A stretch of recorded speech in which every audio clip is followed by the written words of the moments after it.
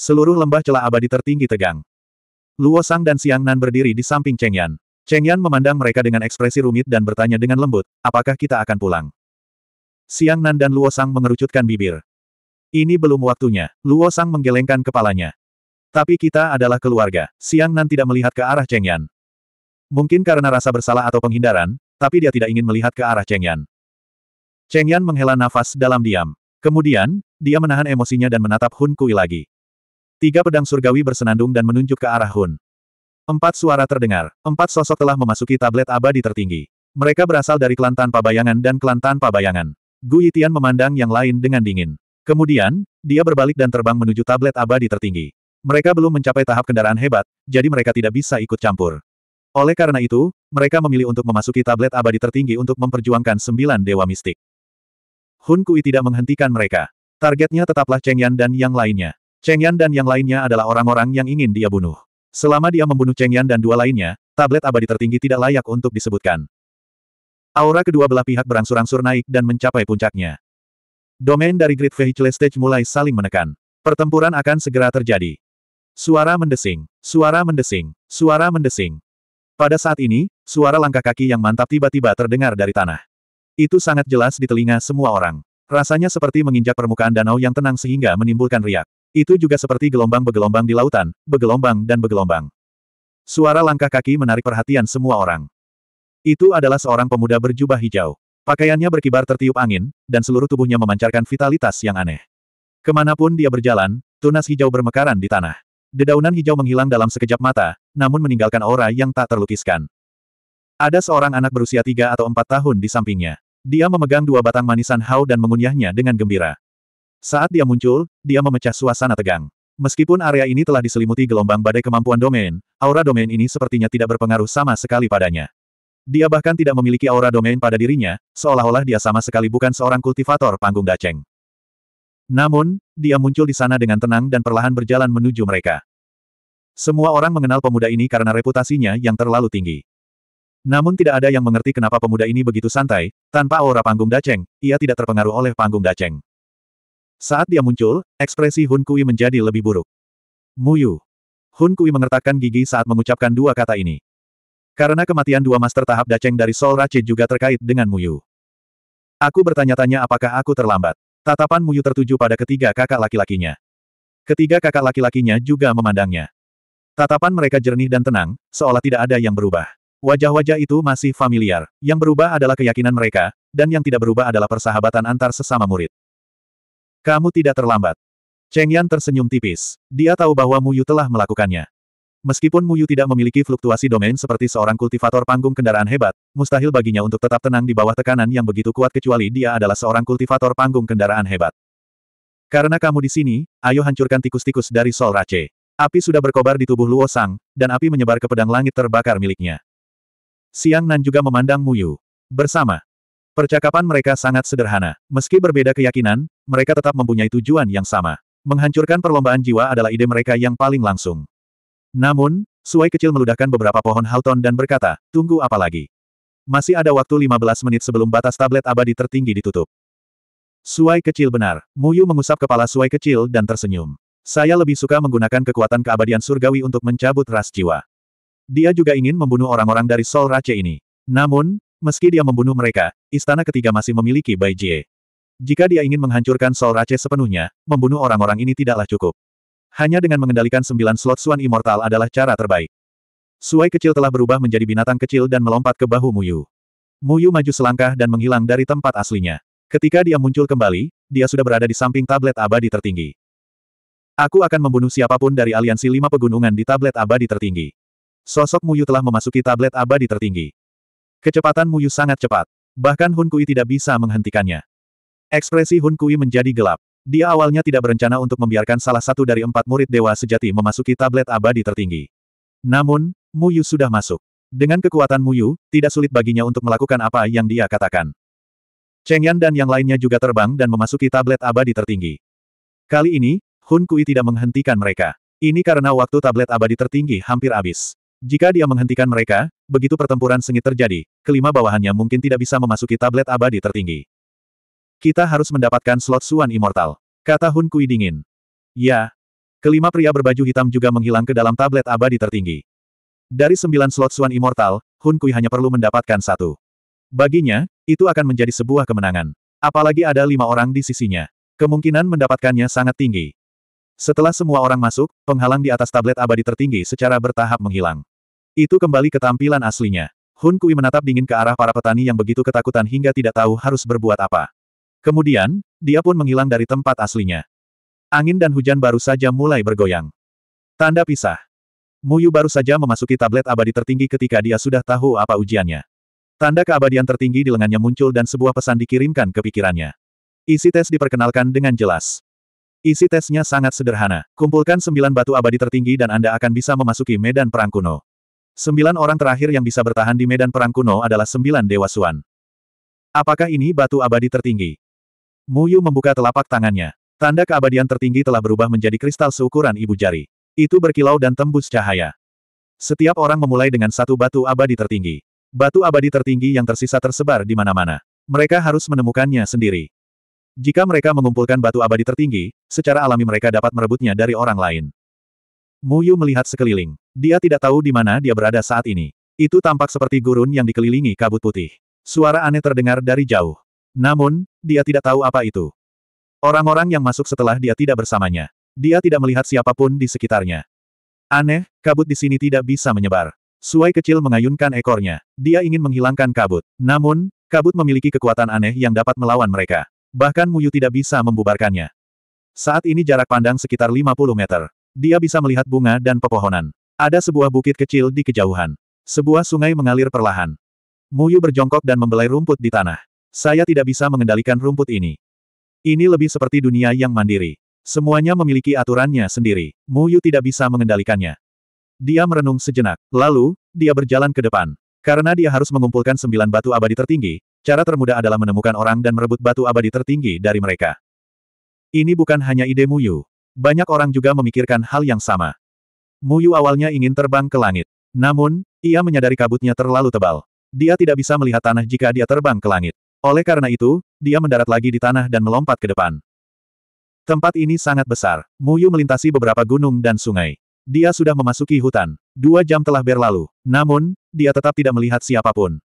Saat dia berjalan maju lagi, bau darah yang menyengat tiba-tiba menyerang wajahnya. Muyu mengerutkan kening. Dia melompat ke sebuah lembah. Tiba-tiba, dia menemukan bahwa tanah dipenuhi kerangka. Ini. Muyu dengan hati-hati memeriksa kerangka itu. Tengkorak-tengkorak itu menakutkan. Mereka telah mati selama ratusan tahun atau bahkan lebih lama. Kebanyakan dari mereka adalah kerangka manusia. Namun, ada beberapa kerangka dengan bentuk yang aneh. Mereka tidak terlihat seperti kerangka manusia. Sebaliknya, mereka terlihat seperti kerangka iblis. Namun, Muyu menemukan bahwa banyak kerangka memiliki tanduk panjang di dada mereka. Mereka adalah monster bertanduk bersayap daging. Di tengah kerangka ini, Muyu tiba-tiba menemukan kerangka manusia yang tinggi dan perkasa. Tulangnya berwarna emas. Aura menakjubkan muncul dari tubuhnya. Itu sebenarnya adalah aura dari Great Vehicle Stage. Siapa orang ini? Dia sudah mati. Bagaimana dia masih bisa memiliki aura yang begitu menakutkan? Muyu mengukur kerangka itu. Kerangka ini setengah berlutut di tanah. Ia memegang pedang panjang berkarat di tangannya. Itu menopang tubuhnya. Kepalanya menatap Muyu dengan arogan. Rongga matanya yang dalam masih berkedip-kedip dengan nyala api kemasan. Seolah ingin membakar orang luar menjadi abu. Apakah dia membunuh semua orang ini? Muyu menekan keterkejutan di hatinya dan berjalan dengan hati-hati. Meskipun aura kerangka ini kuat, itu tidak akan membuat Muyu mundur. Ketika Muyu berjalan mendekat, kerangka itu tiba-tiba bergerak. Ia mengeluarkan suara gemuruh yang mengguncang bumi. Ia mengangkat pedang panjang di tangannya dan menebas Muyu. Cahaya pedang memunculkan awan debu. Itu sangat cepat dan menakutkan. Bahkan orang biasa di tahap crossing calamity tidak akan mampu memblokir pedang ini. Ding! Pedang bayangan Muyu keluar. Itu memblokir kerangka itu dan membuatnya terbang. Menabrak. Kerangka itu telah hancur. Cahaya keemasan di tubuhnya berangsur-angsur menghilang. Tampaknya hanya tersisa serangan terakhir ini. Apa yang terjadi di sini? Muyu mengambil pedang panjang itu dan mengayunkannya dengan lembut. Karat pada pedang telah terlepas dan mengeluarkan suara lembut. Itu pedang yang bagus. Muyu tidak bisa tidak memuji. Meskipun pedang bayangannya sekarang adalah pedang surga terkuat dan jauh lebih kuat dari pedang panjang ini, dibandingkan dengan kultivator mandiri lainnya, pedang panjang ini jelas merupakan harta karun tertinggi. Namun, pedang panjang di tangan Muyu tiba-tiba hancur menjadi bubuk dan menyatu kembali ke dalam kerangka. Eh, ada batu abadi tertinggi di rongga matanya. Suai kecil mengulurkan kaki kecilnya dan mengeluarkan sebuah batu dari tengkorak kerangka itu. Batu inilah yang memungkinkan kerangka itu mempertahankan aura kuatnya. Tempat yang aneh. Muyu mengambil batu abadi tertinggi. Setidaknya dia telah mengumpulkan dua batu abadi tertinggi. Ledakan. Pada saat ini, suara gemuruh yang mengguncang bumi datang dari jauh. Lalu, terdengar suara gemuruh samar. Tampaknya ada konflik. 1102. Seekor binatang bercakar enam setinggi 100 meter sedang mengaum dengan ganas. Itu juga merupakan kerangka dengan cakar yang sangat tajam. Sudah ada setengah mayat berwarna merah tua tergeletak di tanah. Ini adalah seorang pria muda. Tubuhnya terbelah dua, dan darah masih mengalir dari lukanya. Matanya hampir keluar dari rongganya. Jelas sekali bahwa dia telah meninggal dengan penuh keluhan. Seorang kultivator tahap pemutusan roh sudah mati. Tatapan Muyu tertuju pada binatang bercakar enam itu. Ini adalah kadal iblis bercakar enam. Muyu telah melihatnya di alam budidaya. Tingginya paling banyak 10 meter dan berada di tahap pemutusan roh. Namun, panjangnya di sini 100 meter. Melihat aura mengerikannya, ia sebenarnya sebanding dengan seorang kultivator tahap melewati kesengsaraan. Sebuah batu abadi yang ekstrim muncul di tubuh pemuda itu dan beriak di udara. Kemudian, kadal iblis bercakar enam langsung meraih batu abadi yang ekstrim. Batu abadi yang ekstrim melayang ke dahinya, dan batu abadi ekstrim lainnya tertanam di tengah dahinya. Kemudian, kadal iblis bercakar enam itu mendongak dan melihat Muyu. Dengan suara gemuruh, ia menerkam Muyu. Kamu menemukan lawan yang salah. Muyu mengayunkan tangannya dan energi spiritual mengalir. Dia merobek kadal iblis bercakar enam menjadi dua dan meraih kepalanya. Kemudian, dia dengan kasar mengambil dua batu abadi yang ekstrim. Setelah batu abadi yang ekstrim meninggalkan kepala kadal iblis bercakar enam, tubuh kadal iblis bercakar enam setinggi 100 meter itu runtuh, menciptakan awan debu. Empatnya, sepertinya tidak terlalu sulit. Muyu melirik pemuda yang meninggal dengan mata terbuka. Dia tidak mengenal orang ini. Biasanya, dia tidak peduli siapa yang berada di papan peringkat abadi yang ekstrim. Namun, setiap makhluk abadi yang ekstrim setidaknya terkenal dan dihormati di alam budidaya. Orang ini adalah salah satunya. Dia awalnya berpikir bahwa dia bisa bertarung untuk Suan Immortal terakhir setelah memasuki monumen abadi yang ekstrim. Namun, jika dia tidak cukup kuat, dia masih akan kehilangan nyawanya di sini. Muyu terus berjalan ke depan. Dia melompat ke puncak gunung dan berjalan satu jam lagi. Dia melihat seekor ular besar dengan basis budidaya tahap keluar tubuh. Ular besar itu memiliki tanduk di kepalanya, dan batu abadi tertinggi tertanam di tengah tanduknya. Seekor ular raksasa dalam tahap keluar tubuh. Tampaknya tidak semua monster kuat. Muyu juga mengambil batu abadi tertinggi dari ular raksasa itu. Ini berarti dewa ekstrim keluar tubuh juga bisa mengumpulkan sembilan batu abadi tertinggi selama mereka mengalahkan monster yang lebih lemah. Kesulitannya tidak terlalu tinggi. Pemuda tadi jelas tidak beruntung. Wajar baginya untuk mati ketika dia bertemu dengan kadal iblis bercakar enam tahap kesengsaraan yang melampaui kesengsaraan. Mengumpulkan sembilan batu abadi tertinggi bukanlah tugas yang sulit. Pada dasarnya, Anda hanya perlu berhati-hati dan tidak memprovokasi monster kuat. Namun, setelah mengumpulkan sembilan batu abadi tertinggi dan memasuki medan perang kuno, apa yang akan terjadi di sana? Muyu tahu bahwa ujian Suan Immortal tidak akan sesederhana itu, tapi dia tidak tahu di mana medan perang kuno berada. Dia hanya bisa mengambil langkah demi langkah. Sekarang dia memiliki lima batu abadi tertinggi, dia perlu menemukan empat batu sisanya. Dia melanjutkan ke depan. Setelah berjalan selama empat jam, dia tidak menemukan monster lagi dengan batu abadi tertinggi. Namun, ketika dia melintasi ngarai, dia mendengar suara pertempuran sengit di depan. Itu adalah dua pemuda di tahap sintesis bentuk. Saat ini, mereka terkunci dalam pertempuran sengit. Lampu yang menyilaukan bersinar dan mantra berterbangan ke mana-mana. Tampaknya keduanya ingin membunuh satu sama lain. Ma Yang Cheng, kamu bukan tandinganku. Dengan patuh berikan aku batu abadi tertinggi dan aku akan mengampuni nyawamu. Salah satu pemuda botak itu berteriak dengan dingin. Ma Yang Cheng, peringkat ke-27 di tahap keabadian tertinggi. Yin Lei, kamu pikir kamu ini siapa? Saya memiliki dua batu abadi tertinggi. Datang dan coba saya jika Anda bisa. Ma Yang Cheng tertawa dan mengangkat pedang di tangannya lagi. Dia menyerang ke arah Yin Lei. Yin Lei, peringkat ke-29 di tahap keabadian tertinggi. Keduanya bertengkar lagi. Hei, kalian berdua, keharmonisan menghasilkan kekayaan. Menurutku kalian harus berhenti bertengkar. Xiao Shuai telah berubah menjadi wujud manusianya. Dia berdiri di puncak ngarai dengan tangan di belakang punggung. Dia menggelengkan kepalanya dan berteriak pada dua orang yang berkelahi. Ma Yang Cheng dan Yin Le saling bertabrakan. Kemudian, mereka berpisah. Ma Yang Cheng berbalik dan melihat seorang anak berusia tiga atau empat tahun. Dia berteriak dengan nada mengejek, bocah cilik, kamu berani berbicara denganku di sini. Apakah kamu percaya bahwa aku tidak akan melepas celanamu dan memukulmu? Ma Yang Cheng sepertinya melupakan sesuatu. Jika ini hanya anak biasa, bagaimana dia bisa memasuki monumen keabadian tertinggi? Suara mendesing. Aura yang kuat turun dari langit. Seolah-olah dua gunung runtuh menimpa Ma Yang Cheng dan Yin Lei. Ekspresi mereka berubah drastis. Mereka benar-benar tidak bisa bergerak. Dia benar. Harmoni menghasilkan kekayaan. Beri aku batu abadi tertinggi, kata Mu Yu dengan tenang. Wajah Ma Yang Cheng dan Yin Lei menjadi pucat saat melihat Mu Yu muncul. Mereka mengenali Mu Yu dan berseru, itu kamu. Saya tidak ingin membunuh siapa pun, kata Mu Yu. Ma Yang Cheng dan Yin Lei mengertakkan gigi dan menyerahkan batu abadi tertinggi mereka.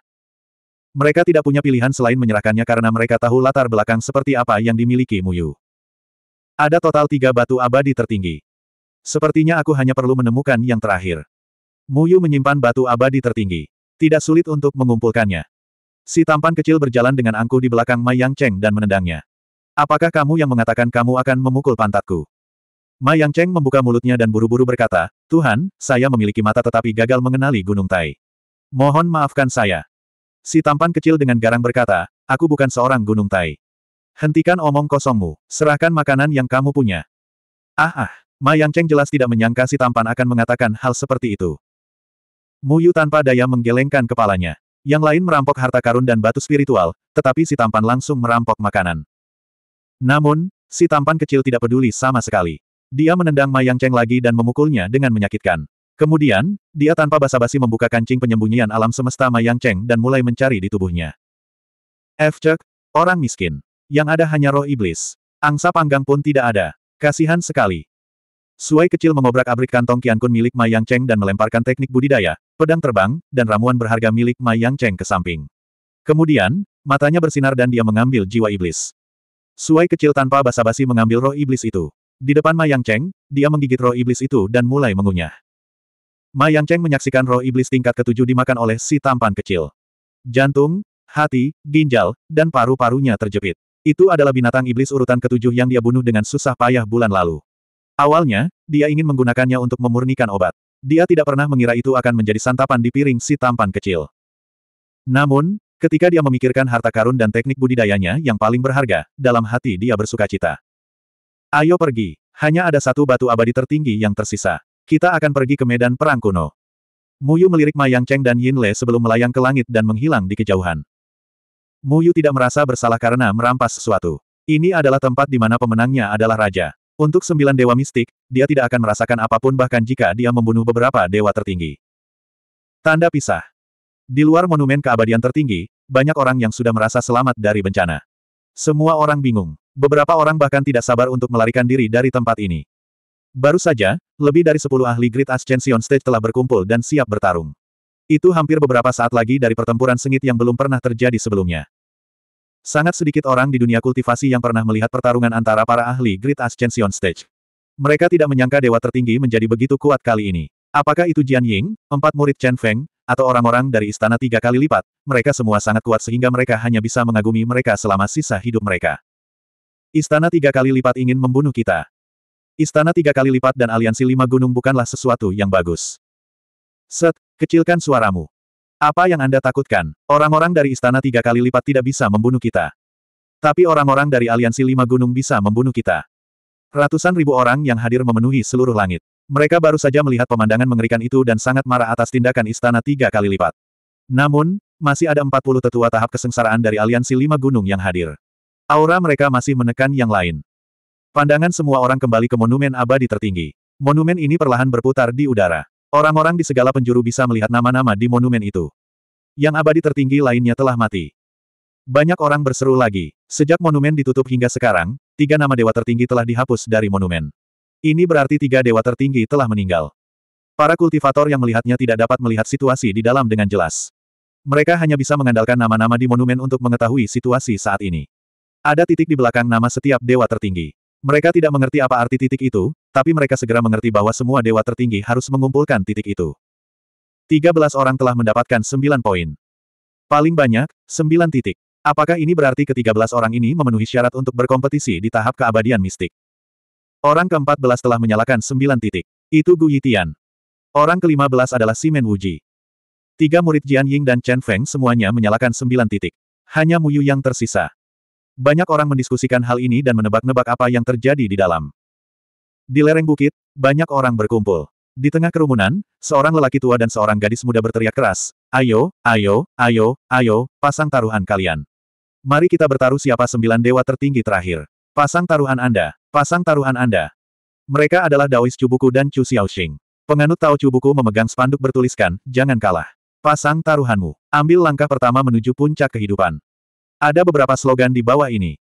Dunia ini ada di tanganmu. Pasang taruhan Anda dengan berani dan pilih sembilan dewa tertinggi di hati Anda.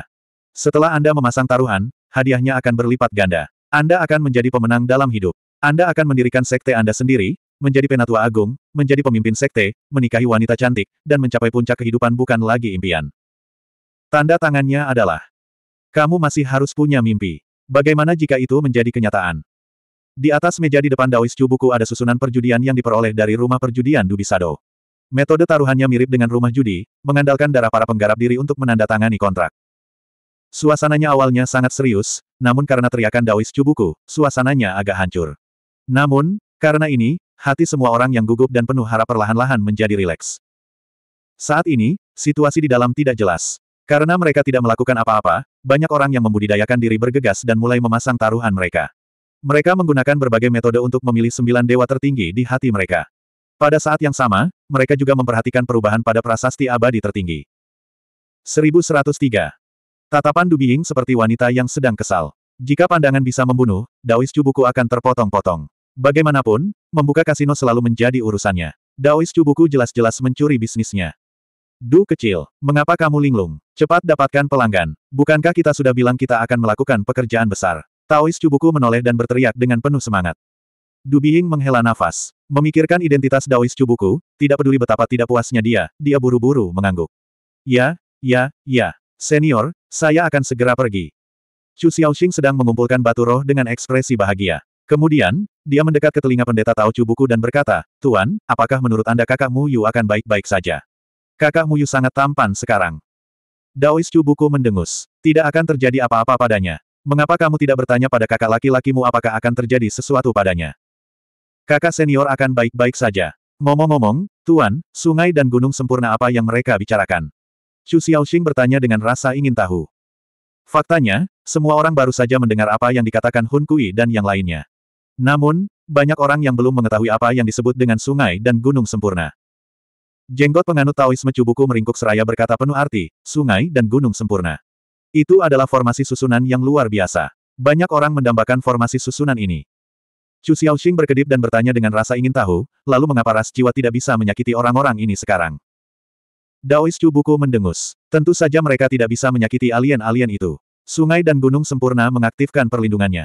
Setidaknya, ras jiwa tidak bisa membunuh para penggarap di bawah tahap integrasi tubuh. Jian Ying dan Chen Feng sangat kuat. Mata Chu Xiaoxing membelalak karena terkejut. Perlombaan jiwa tidak dapat membunuh para penggarap di bawah tahap integrasi tubuh. Sangat kuat. Penganut Tao Cubuku memandangi susunan perjudian dengan serius dan berkata, tidak, sungai dan gunung sempurna baru saja diaktifkan sekarang. Ini berarti ada kekurangannya. Ras jiwa akan menemukan kekurangan ini cepat atau lambat. Selain itu, bukan hanya ras jiwa. Ada dua ras alien lain yang siap bergerak. Chu Xiaoxing terus bertanya, apa kegunaan lain dari sungai dan gunung sempurna? Penganut Tao Cubuku mengamati secara mendalam nama-nama di papan peringkat. Dia menatap nama Muyu untuk waktu yang lama dan berkata, sungai dan gunung sempurna. Formasi ini sangat berguna. Tidak banyak orang yang mengetahui tentang formasi arai sekarang. Chu Xiaoxing cemberut ketika dia melihat tuannya menolak menjelaskan lebih lanjut. Matanya berbinar lagi. Kalau begitu kakak Muyu pasti tahu cara mengendalikan formasi ini, kan? Taois Cubuku tersenyum tanpa mengucapkan sepatah kata pun. Ada banyak sekali orang yang memasang taruhan mereka. Being menjaga ketertiban. Setiap kultivator dengan hati-hati memilih ekstrim immortal yang mereka incar. Lima teratas di papan peringkat abadi tertinggi adalah Tempat pertama, Qiansu. Tempat kedua, Leng Yuqiu. Tempat ketiga, Yue Hansha. Tempat keempat, Gu Anhua. Tempat kelima, Han Xiang Chaos. Tempat kelima awalnya adalah Wu Yusu, tapi sekarang digantikan oleh seseorang bernama Han Xiang Chaos. Budidaya Han Xiang Chaos bahkan lebih kuat dari budidaya Wu Yusu. Wu Yusu hanya berada di tahap kesengsaraan, tetapi Han Xiang Chaos berada di tahap kenaikan besar. Para ahli istana ketiga memang tidak ada habisnya. Tidak ada yang mengenal kelima orang ini, tetapi para penggarap sudah tahu bahwa mereka pasti berasal dari istana ketiga. Mereka juga berada di tahap kenaikan besar. Meskipun orang-orang istana ketiga mendominasi, banyak orang masih bertaruh pada mereka berlima. Kekuatan istana ketiga tidak bisa dianggap remeh. Selain mereka berlima, empat murid Jian Ying dan Chen Feng, Cheng Yan, Luo Sang, Xiang Nan, dan Mu Yu, bahkan lebih seru. Belum lagi anak emas dan gadis giok dari faksi jahat, Simen Wuji dan Wan Wan, serta kemunculan tiba-tiba Xiaoran dan Chu Xiachi, serta kuda hitam dengan pedang di punggungnya, Gu Yitian. Sebagian besar kultivator akan memasang taruhan mereka pada orang-orang ini karena mereka adalah kandidat paling populer untuk posisi keabadian yang sangat besar. Seorang pria parubaya dengan santai berjalan di depan Taois Cubuku dan berkata perlahan, bisakah Anda memberitahu saya cara memasang taruhan? Suaranya tidak nyaring, dan terdengar sangat lemah di tengah pertaruhan yang berisik. Bahkan tidak menarik perhatian siapa pun. Namun, penganut Tao Cubuku sedikit mengernyit dan berkata tanpa mengangkat kepalanya, taruhannya sangat sederhana. Pilih sembilan dewa tertinggi dari papan peringkat abadi tertinggi dan pasang taruhanmu. Semakin banyak orang yang bertaruh dengan benar, semakin tinggi keuntungannya. Jika semuanya dari mereka bertaruh dengan benar, taruhannya akan menjadi seratus kali lebih banyak. Apakah itu satu-satunya taruhan? Itulah satu-satunya taruhan. Bagaimana kalau kita mengubah taruhannya?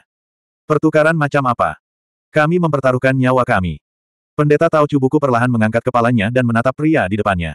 Dia tersenyum tipis. Apa gunanya mempertaruhkan nyawa kita? Pria di depannya berpakaian biru.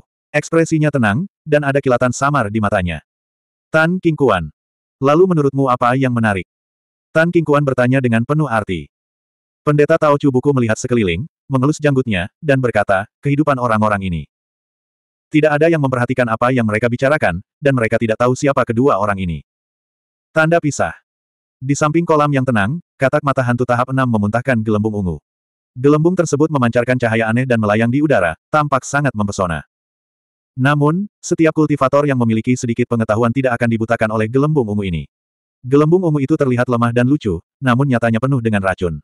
Mereka secara khusus digunakan oleh katak bermata hantu peringkat enam untuk membunuh mangsanya. Seorang pemuda berjongkok di semak-semak sambil menatap bunga teratai di tengah kolam. Ada batu abadi tertinggi yang berkedip-kedip di teratai. Namun, kolam itu sudah dipenuhi gelembung ungu katak mata hantu. Setelah gelembung ungu ini rusak, kabut beracun akan menyebar. Bahkan jika dia memiliki budidaya tahap pemutusan roh surga ke-9, dia tidak akan mampu bertahan. Nama pemuda ini adalah Suku Wang, dan dia menduduki peringkat ke-42 di papan peringkat abadi tertinggi. Dia telah mencari sejak lama sebelum dia menemukan batu abadi tertinggi di sini. Namun karena keberadaan katak mata hantu tahap 6, dia tidak berani bertindak gegabah. Dia sedang menunggu, menunggu saat katak mata hantu tahap 6 menutup matanya dan beristirahat. Setelah katak mata hantu memuntahkan gelembungnya, ia akan beristirahat selama waktu yang dibutuhkan untuk menyeduh secangkir teh. Itu adalah waktu terbaik baginya untuk bergerak. Katak mata hantu menutup matanya. Desir.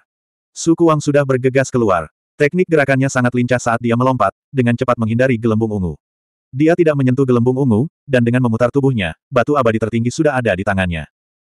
Saat dia sedang bergembira di dalam hatinya, serangkaian suara gemericik tiba-tiba datang dari dalam air. Lidah yang panjang dan tipis keluar dari air dan menyapu ke arah suku Wang. Itu adalah katak bermata hantu yang lain. Omong kosong. Suku Wang mengutuk dalam hatinya. Dia menghindar ke samping untuk menghindari lidah katak mata hantu yang panjangnya 2 meter, tapi dia secara tidak sengaja memecahkan gelembung ungu. Bada. Segera, kabut tebal berwarna ungu beracun menyelimuti dirinya. Dia berteriak dengan sedih, memahami bahwa dia akan menjadi mangsa katak mata hantu. Dia tidak tahu cara memblokir kabut ungu beracun ini, dia juga tidak bisa memblokirnya. Ini sudah berakhir. Pikiran putus asa muncul di hati Suku Wang. Kabut ungu beracun juga mulai menempel di kulitnya. Begitu terkena kabut beracun, kulitnya pasti akan membusuk dan dia akan mati kehabisan darah. Kecuali budidayanya lebih tinggi dari katak mata hantu, tidak ada cara untuk menghalangi kabut beracun. Namun, aura kuat tiba-tiba menyelimuti tubuhnya. Dia merasa seperti ditarik oleh seseorang. Seluruh tubuhnya terbang dan jatuh ke pantai. Aku belum mati. Suku Wang memanjat dengan bingung dan melihat ke kolam. Itu sudah tertutup oleh kabut tebal berwarna ungu beracun. Penggarap di tahap pemutusan roh pasti akan mati di dalamnya. Dia terengah-engah, jantungnya berdebar-debar. Dia tidak mengerti apa yang telah terjadi. Dengan kecepatannya, mustahil baginya untuk melarikan diri dari kabut beracun. Hei, ada yang ingin kubicarakan denganmu. Suara seorang anak kecil terdengar dari belakangnya. Suku Wang tiba-tiba berbalik dan melihat wajah polos Marsekal kecil. Dia tercengang. Anda. Tatapan Suku Wang beralih dari Marsekal kecil ke Muyu. Dia terkejut dan membuka mulutnya lebar-lebar, kamu, kamu adalah Muyu. Sepertinya aku sangat terkenal. Muyu mengangkat bahunya. Hentikan omong kosong itu. Kami menyelamatkan hidupmu, tapi kami tidak menyimpannya dengan sia-sia. Serahkan batu abadi tertinggi. Marsekal kecil meletakkan tangannya di pinggangnya dan berkata dengan suara kekanak-kanakan. Baru pada saat itulah Sukuang mengingat soal batu abadi tertinggi. Dia menghela nafas. Dia hanya berada di tahap pemutusan roh. Saat menghadapi Muyu, dia tidak punya peluang sama sekali. Jika pihak lain ingin merebutnya, dia tidak bisa berbuat apa-apa. Terima kasih telah menyelamatkan hidupku, Tuan. Saya hanya memiliki batu abadi tertinggi ini. Meskipun Sukuang tidak mau, dia tetap mengeluarkan empat batu abadi tertinggi di tangannya. Dia baru berhasil merebut satu batu surgawi tertinggi dari orang lain setelah mengalami banyak kesulitan, dan dia telah menemukan dua batu surgawi lagi untuk dirinya sendiri. Pada akhirnya, dia bertemu dengan seorang ahli dalam sekejap mata, dan batu surgawi tertinggi yang dia kumpulkan telah terbuang percuma. Dia diam-diam mengutuk kesialannya. Namun, tidak ada yang bisa ia lakukan. Ini adalah aturan dari Suan Immortal. Siapa yang memintanya untuk menjadi lebih rendah? Kamu punya cukup banyak. Marsekal kecil tanpa basa-basi menyambar empat batu abadi tertinggi. Dia memutar matanya dan bertanya, apa lagi? Sukuang buru-buru berkata, saya hanya memiliki empat batu abadi tertinggi ini. Tidak ada yang lain. Serahkan makanannya. Marsekal kecil berteriak. Ah ah, makanan. Sukuang memandang Marsekal kecil dengan heran, bertanya-tanya apakah Marsekal kecil telah mengatakan sesuatu yang salah. Lupakan saja, aku akan mencarinya sendiri. Marsekal kecil tanpa basa-basi melompati dan langsung menahan Sukuang. Lalu, dia dengan paksa membuka lengan baju Sukuang. Pil tingkat enam milikku, pedang berharga tingkat tujuh, dan dan metode pengembangan mental tertinggi sekteku. Sukuang gemetar ketakutan saat dia membiarkan Marsekal kecil menggeledah tubuhnya. Dalam hatinya, dia sudah meratap tanpa henti. Itu adalah semua hartanya. Namun, Marsekal kecil bahkan tidak melihat apa yang disebut harta karun itu. Dia tidak menemukan apa pun untuk dimakan dan terlihat sedikit tidak senang. Tidak semua kultivator seperti Muyu, yang membawa banyak makanan. Ketika kultivasi seseorang mencapai tingkat tertentu, tidak perlu makan sama sekali. Dan kali ini, setelah Muyu keluar dari budidaya pintu tertutup, dia segera bergegas ke sini. Dia tidak menyiapkan apa pun untuk dimakan, menyebabkan Marsekal kecil menjadi sangat sedih saat ini. Orang miskin. Marsekal kecil menatap Sukuang, merasa sangat tertekan. Muyu mengambil sepotong batu abadi tertinggi dari tangan Marsekal kecil, lalu melemparkan tiga sisanya ke Sukuang dan berkata, aku hanya kekurangan satu, terima kasih. Saat itulah Sukuang menghela nafas lega. Dia buru-buru berkata, terima kasih, Tuan. Marsekal kecil melompat dan memukul kepala Sukuang. Dia berteriak, lain kali, ingatlah untuk membawa bebek panggang, angsa panggang, dan kue kering. Apakah kamu ingat, jika aku bertemu denganmu lagi dan kamu tidak punya apa-apa untuk dimakan, aku akan mematahkan kakimu. Sukuang tidak bisa berkata-kata oleh Marsekal kecil. Meskipun dia tidak mengerti mengapa Marsekal kecil menanyakan pertanyaan aneh seperti itu, dia tetap buru-buru berjanji. Kemudian, dia mengambil tiga batu abadi tertinggi miliknya dan melarikan diri dengan panik. 1104.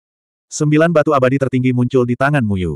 Batu abadi tertinggi melayang naik turun secara ritmis di udara, dikelilingi oleh pola formasi yang samar-samar terlihat. Tempat seperti apa medan perang kuno itu? Mu Yu merenung. Proses mengumpulkan batu abadi tertinggi tidaklah sulit bagi Mu Yu. Faktanya, ujian ini tidak sulit bagi dewa tertinggi lainnya. Selama mereka sedikit berhati-hati, mereka dapat menemukan sembilan batu abadi tertinggi. Dia menyuntikkan kekuatan spiritual di tangannya ke dalam batu abadi tertinggi. Batu-batu itu sedikit bergetar, dan sembilan batu abadi tertinggi mulai berputar, membentuk bayangan cahaya. Kemudian, sembilan batu abadi tertinggi memancarkan cahaya kemasan, membentuk susunan teleportasi mini. Muyu merenung sejenak, lalu melangkah ke susunan teleportasi.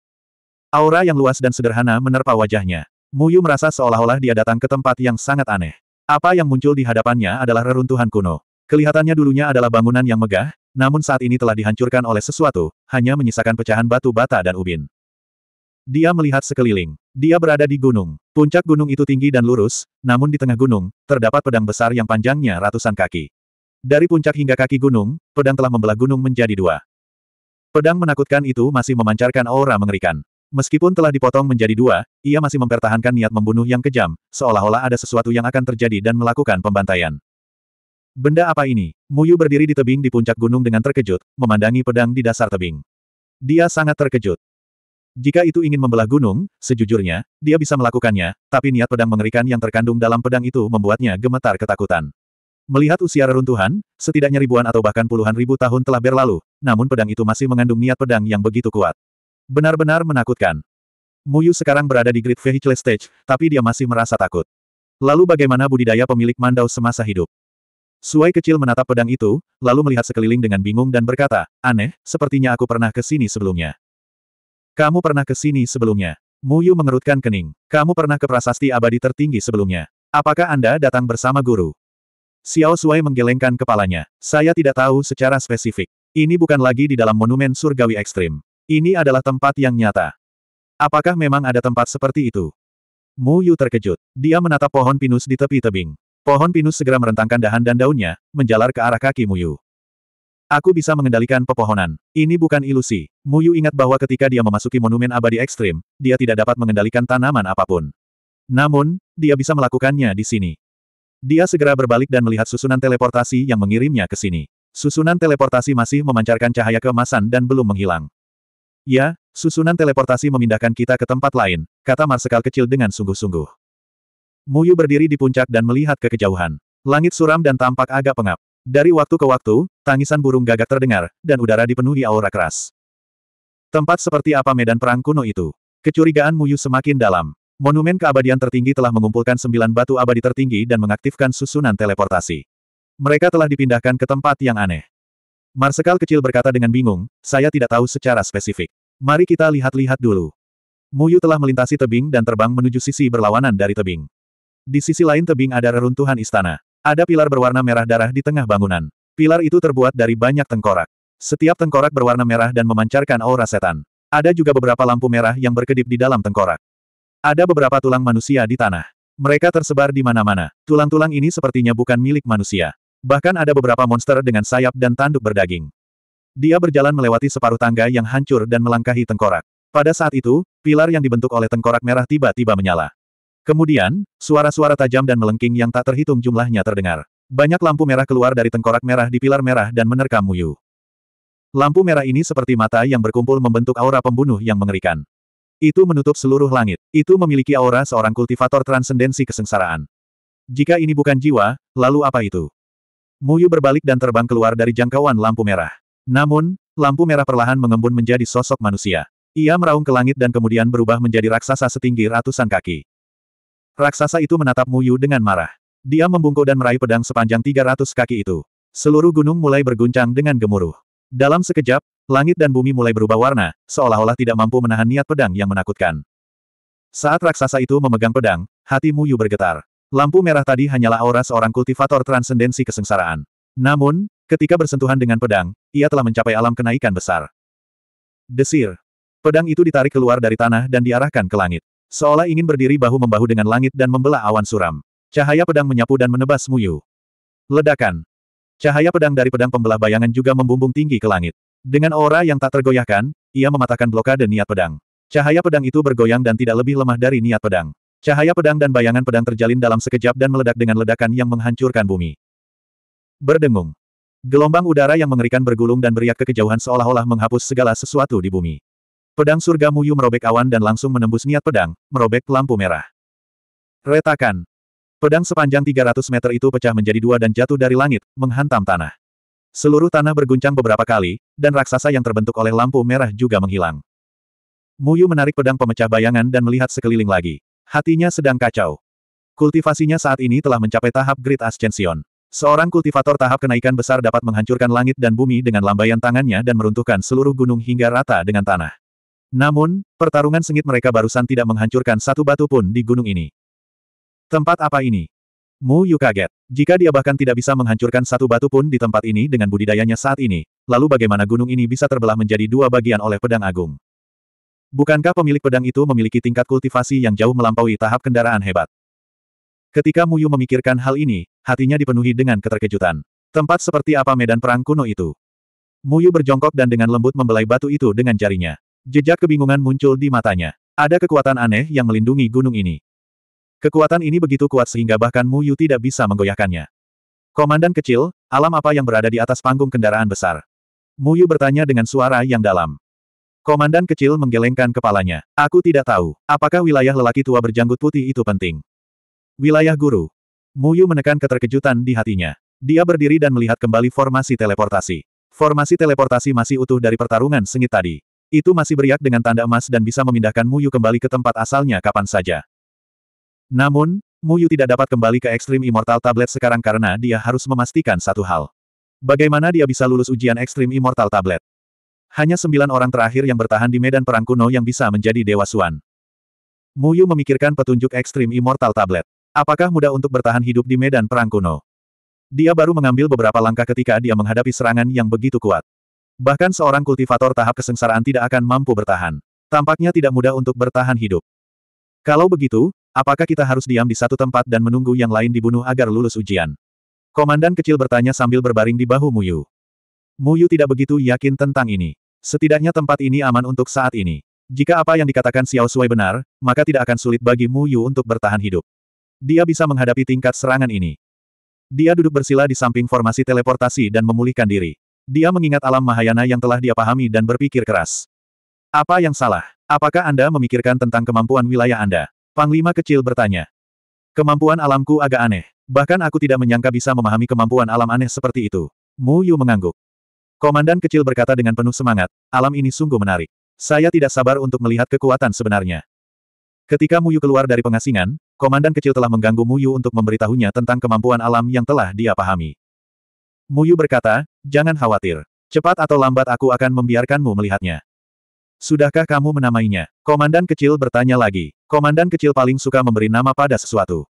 Muyu merasakan firasat buruk dan dengan cepat mengangguk. Ya, itu disebut. Disebut, disebut, Yu, Yu. Komandan kecil memandang Muyu dengan jahat dan berkata, omong kosong, kamu pasti belum menyebutkan namanya. Aku akan menyebutkannya, sebut saja.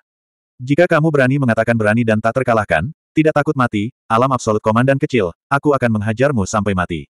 Muyu mengancam. Komandan kecil tiba-tiba menjadi putus asa. Dia telah merencanakan untuk melakukannya. Matanya menoleh dan dia mengubah kata-katanya, kalau begitu sebut saja Komandan Yu Super Invincible Myriad Domain Realm, oke. Okay. Mengapa wilayahku harus terhubung dengan namamu? Bukankah Komandan Yu juga memujimu? Itu benar, tapi aku menolak. Mu Yu menggelengkan kepalanya dengan benar. Komandan kecil tidak menyerah dan berkata, kalau begitu sebut saja Komandan Yu Soaring Heaven Invincible Myriad Domain Realm Realm, atau Komandan Yu Unparalleled Invincible Myriad Domain Realm Realm.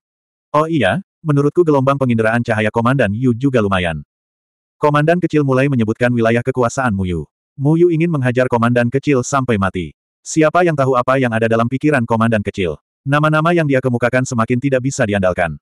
Nama ini harus mendominasi. Kalau tidak, ketika tiba waktunya untuk bergerak, dia akan berteriak, aku, yang unik dan benar, atau, kekuatan menghancurkan Bima Sakti, dan seterusnya.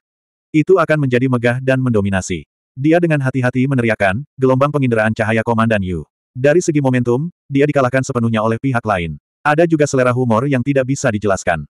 Itu benar-benar sebuah lelucon. Bagaimana dia bisa melawan pertempuran ini? 1105. Nama aneh macam apa ini? Mengapa kamu tidak menambahkan namaku? Xiao Shuai bertanya dengan ketidakpuasan. Muyu baru saja akan memikirkan alasan yang lebih baik untuk mengusir Xiao Shuai, tetapi pada saat ini, gunung di bawah kakinya tiba-tiba bergetar. Kemudian, pedang yang dia kalahkan tiba-tiba mengembun lagi, dan kemudian membentuk kekuatan mengerikan di udara.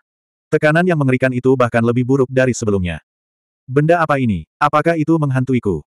Mu Yu mengerutkan kening. Dia tidak menyangka aura pedang itu menjadi begitu kuat. Itu di luar imajinasinya. Dia tidak punya waktu untuk memikirkannya. Sosoknya sudah terbang keluar dan menghindari serangan fatal itu. Pedang itu menebas tempat dia duduk bersila. Itu tidak menghancurkan gunung, tapi Mu Yu tidak ragu bahwa jika dia terkena pedang ini, dia akan terluka parah bahkan jika dia tidak mati. Desir. Mu Yu sudah terbang jauh dari gunung. Baru setelah dia berada seratus mil jauhnya dia meninggalkan jangkauan niat pedang yang kuat dari pedang itu. Raksasa merah yang mengendalikan pedang itu tidak mengejarnya. Sepertinya dia hanya ingin mengusirnya. Sepertinya tidak mungkin untuk tinggal di satu tempat lebih lama lagi.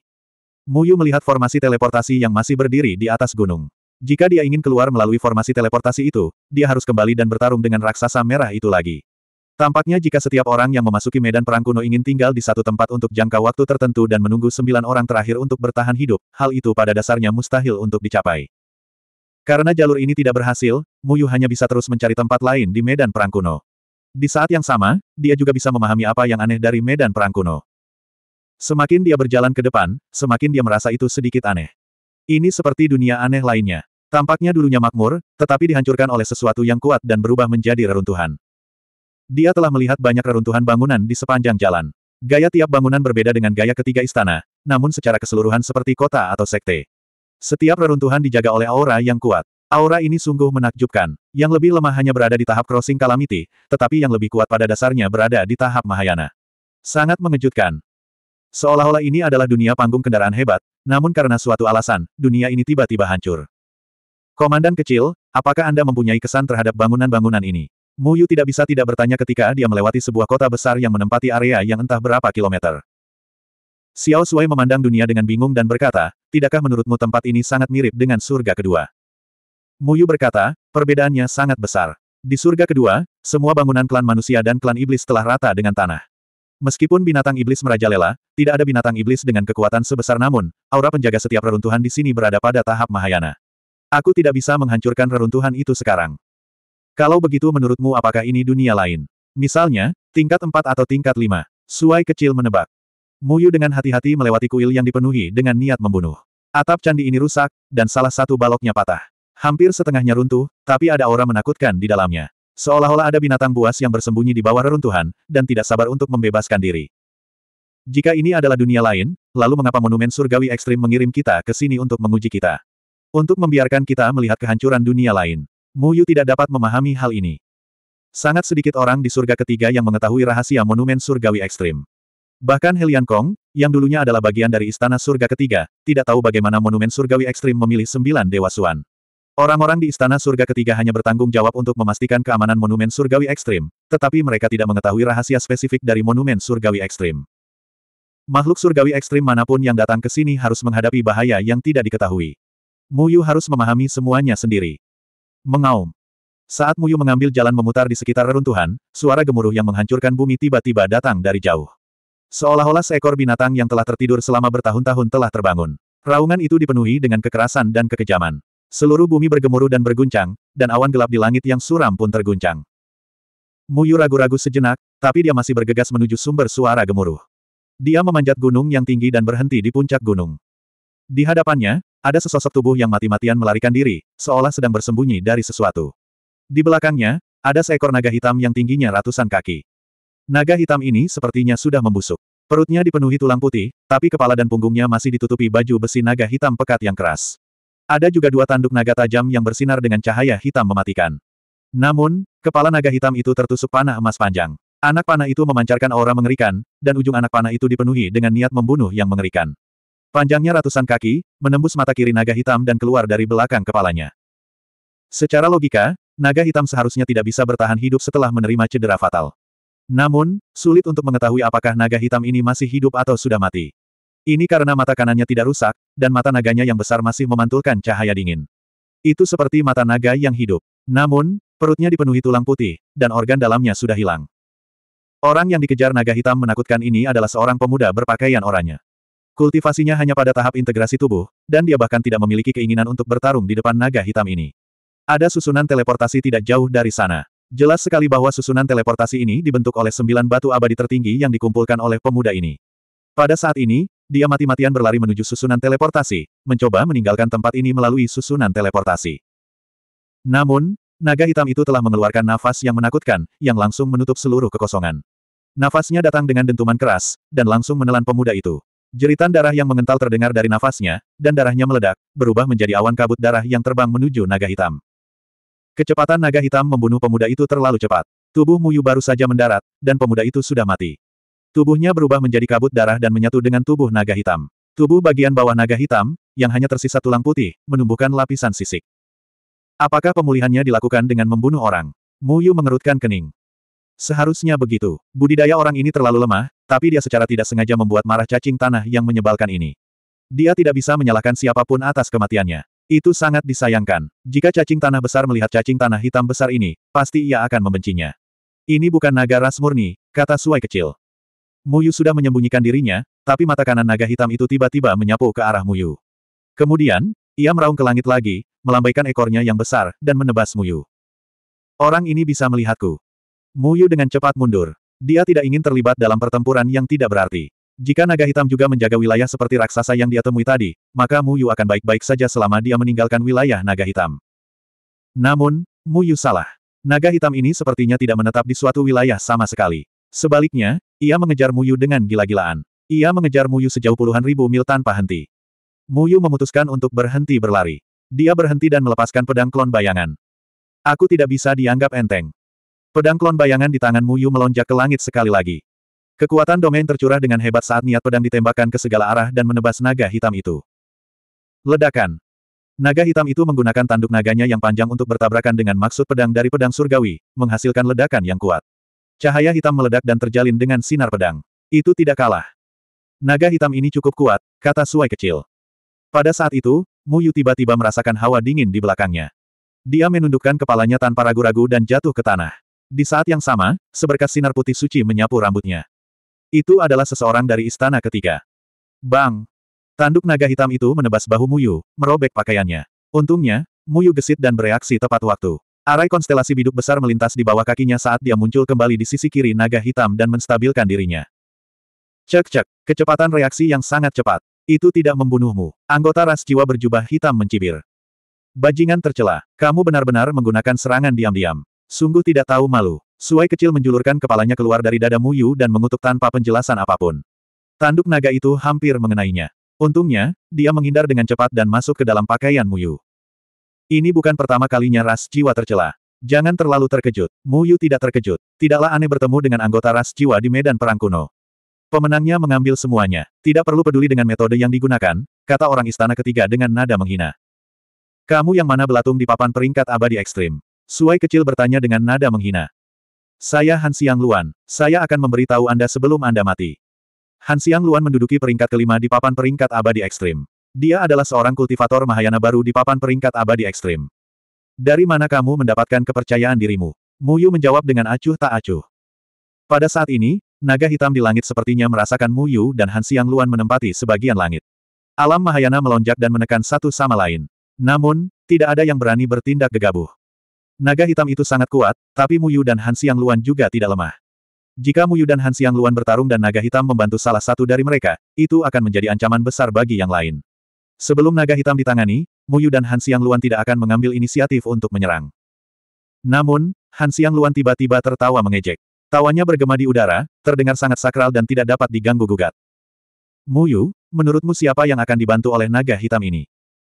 Bau darah yang menyengat tiba-tiba muncul di tangan Han Xiang Luan. Saat bau darah muncul, mata kanan naga hitam menjadi merah tua, seolah-olah dia telah melihat sesuatu yang tak tertahankan. Dia menatap lekat-lekat pada Han Xiang Luan. Bunuh dia bersamaku, dan daging dalam hidup ini akan menjadi milikmu, kata Han Xiang Luan. 1106. Muyu dengan tenang menatap naga hitam dan Han Xiang Luan. Han Xiang Luan jelas tahu lebih banyak tentang tempat ini daripada dirinya. Dia juga tahu apa yang diinginkan naga hitam itu. Saat ini, Naga Hitam dan Han Xiang Luan berada di pihak yang sama. Keduanya adalah kultivator Great Ascension Stage. Mereka bekerja sama untuk menangani Muyu. Pedang bayangan Muyu menyapu ke arah Chaotic Fragrance. Target yang paling ingin dia bunuh adalah orang ini. Namun, naga hitam sudah mengaum. Nafas hitam yang kuat menyapu dan bergegas menuju Muyu. Pada saat yang sama, Soul Orb besar muncul di sekitar Chaotic Han Xiang. Bola jiwa bersinar dengan cahaya suci, dan kekuatan domain menutupi seluruh area, menutup kekosongan. Pada saat yang sama, Soul Orb memanjang membentuk busur besar. Suara hukum jiwa, busur jiwa Asura. Han Xiang Luan menarik busurnya sepenuhnya. Seutas kekuatan jiwa perlahan mengembun di tangannya, berubah menjadi panah putih yang kuat. Saat panah ini muncul, seluruh kekosongan sepertinya terjepit. Semua energi roh berkumpul menuju anak panah. Muyu dengan dingin melihat panah itu. Dia sudah dilindungi oleh domain Chaotic Fragrance. Di dalam domain tersebut, panah putih yang kuat telah mengunci dirinya. Ke mana pun dia menghindar, anak panah itu akan muncul di sampingnya. Aura pedang yang kuat membubung ke langit. Pedang surgawi menembus dunia, menimbulkan pusaran besar di awan suram. Aura pedang diliputi oleh niat dingin. Aura pedang menyebar dan langsung menghancurkan nafas naga hitam itu. Pada saat yang sama, anak panah di tangan Han Xiang Luan dilepaskan dari tali busur. Anak panah itu seperti meteor, menimbulkan ledakan di udara, diikuti riak di udara.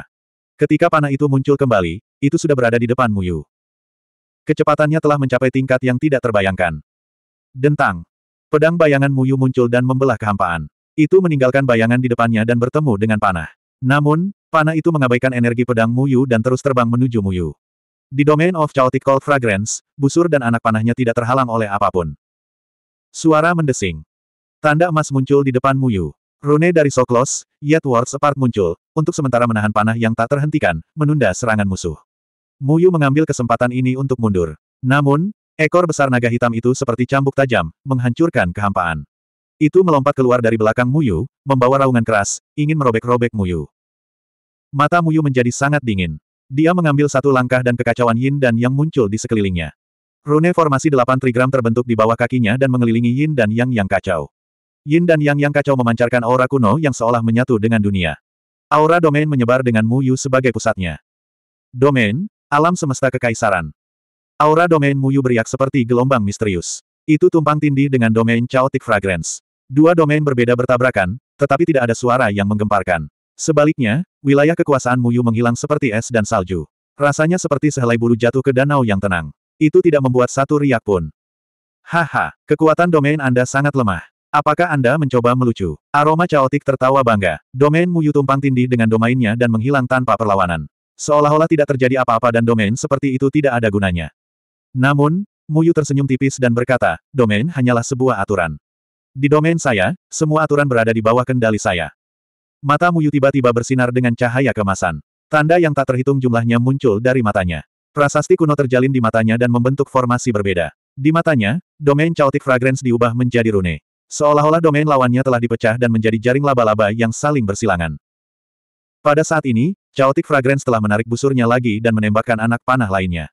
Anak panah itu membawa suara gemuruh. Tampaknya merobek langit dan mengenai skyline Muyu.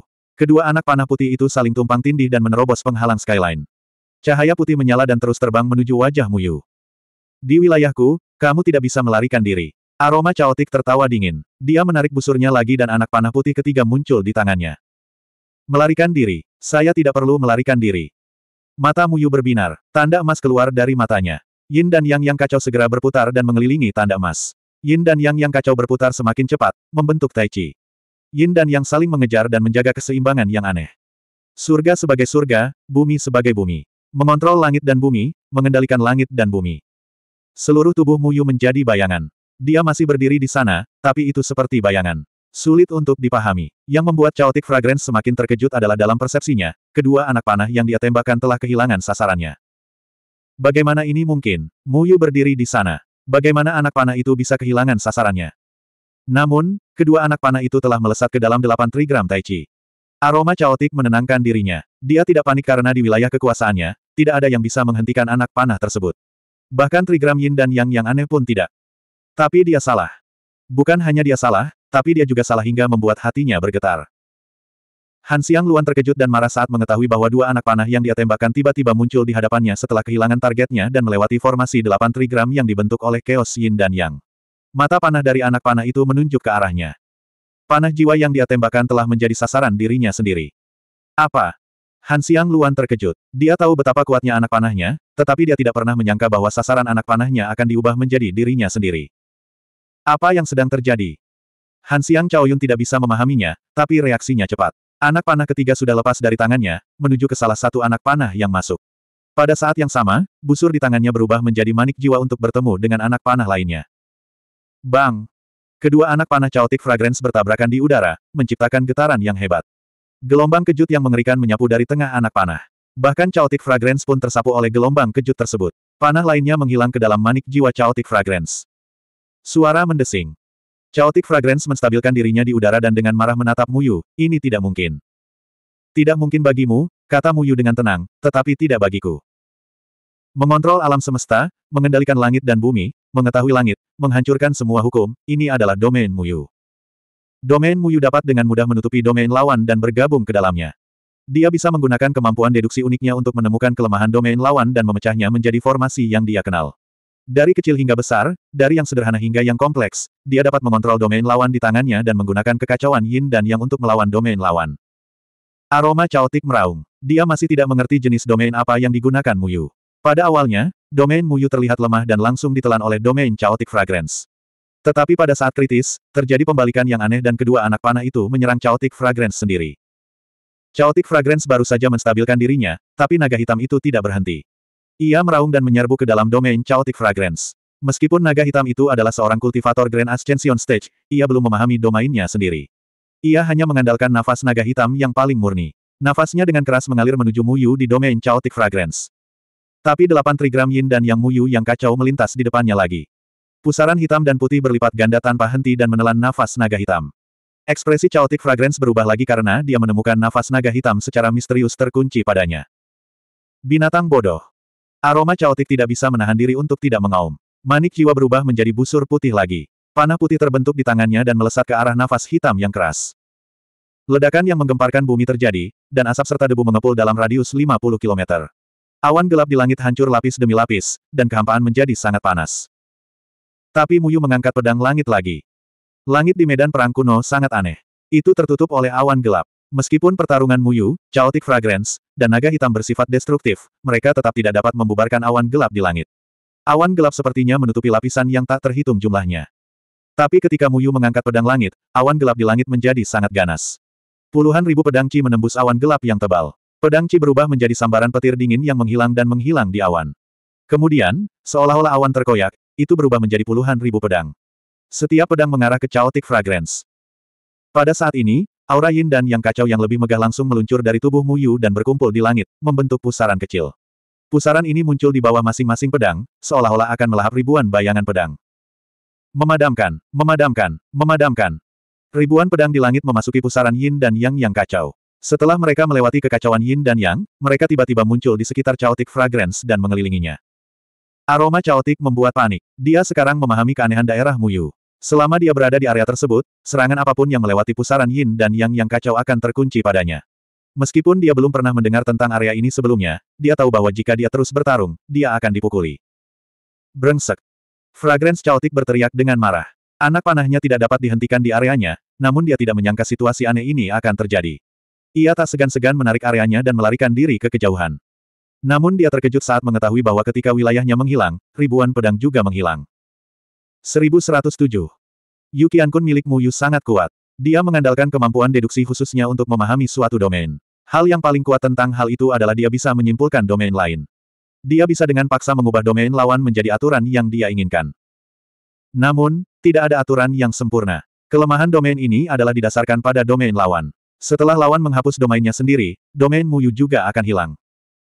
Han Xiang Luan dengan dingin menatap Mu Yu. Bola jiwa kembali mengembun menjadi busur putih di tangannya. Dia tersenyum kejam. Saya tidak menyangka domain Anda menjadi begitu aneh. Karena itu masalahnya, kami tidak perlu menggunakan domain kami. Saya ingin melihat bagaimana Anda menangani saya dan naga hitam.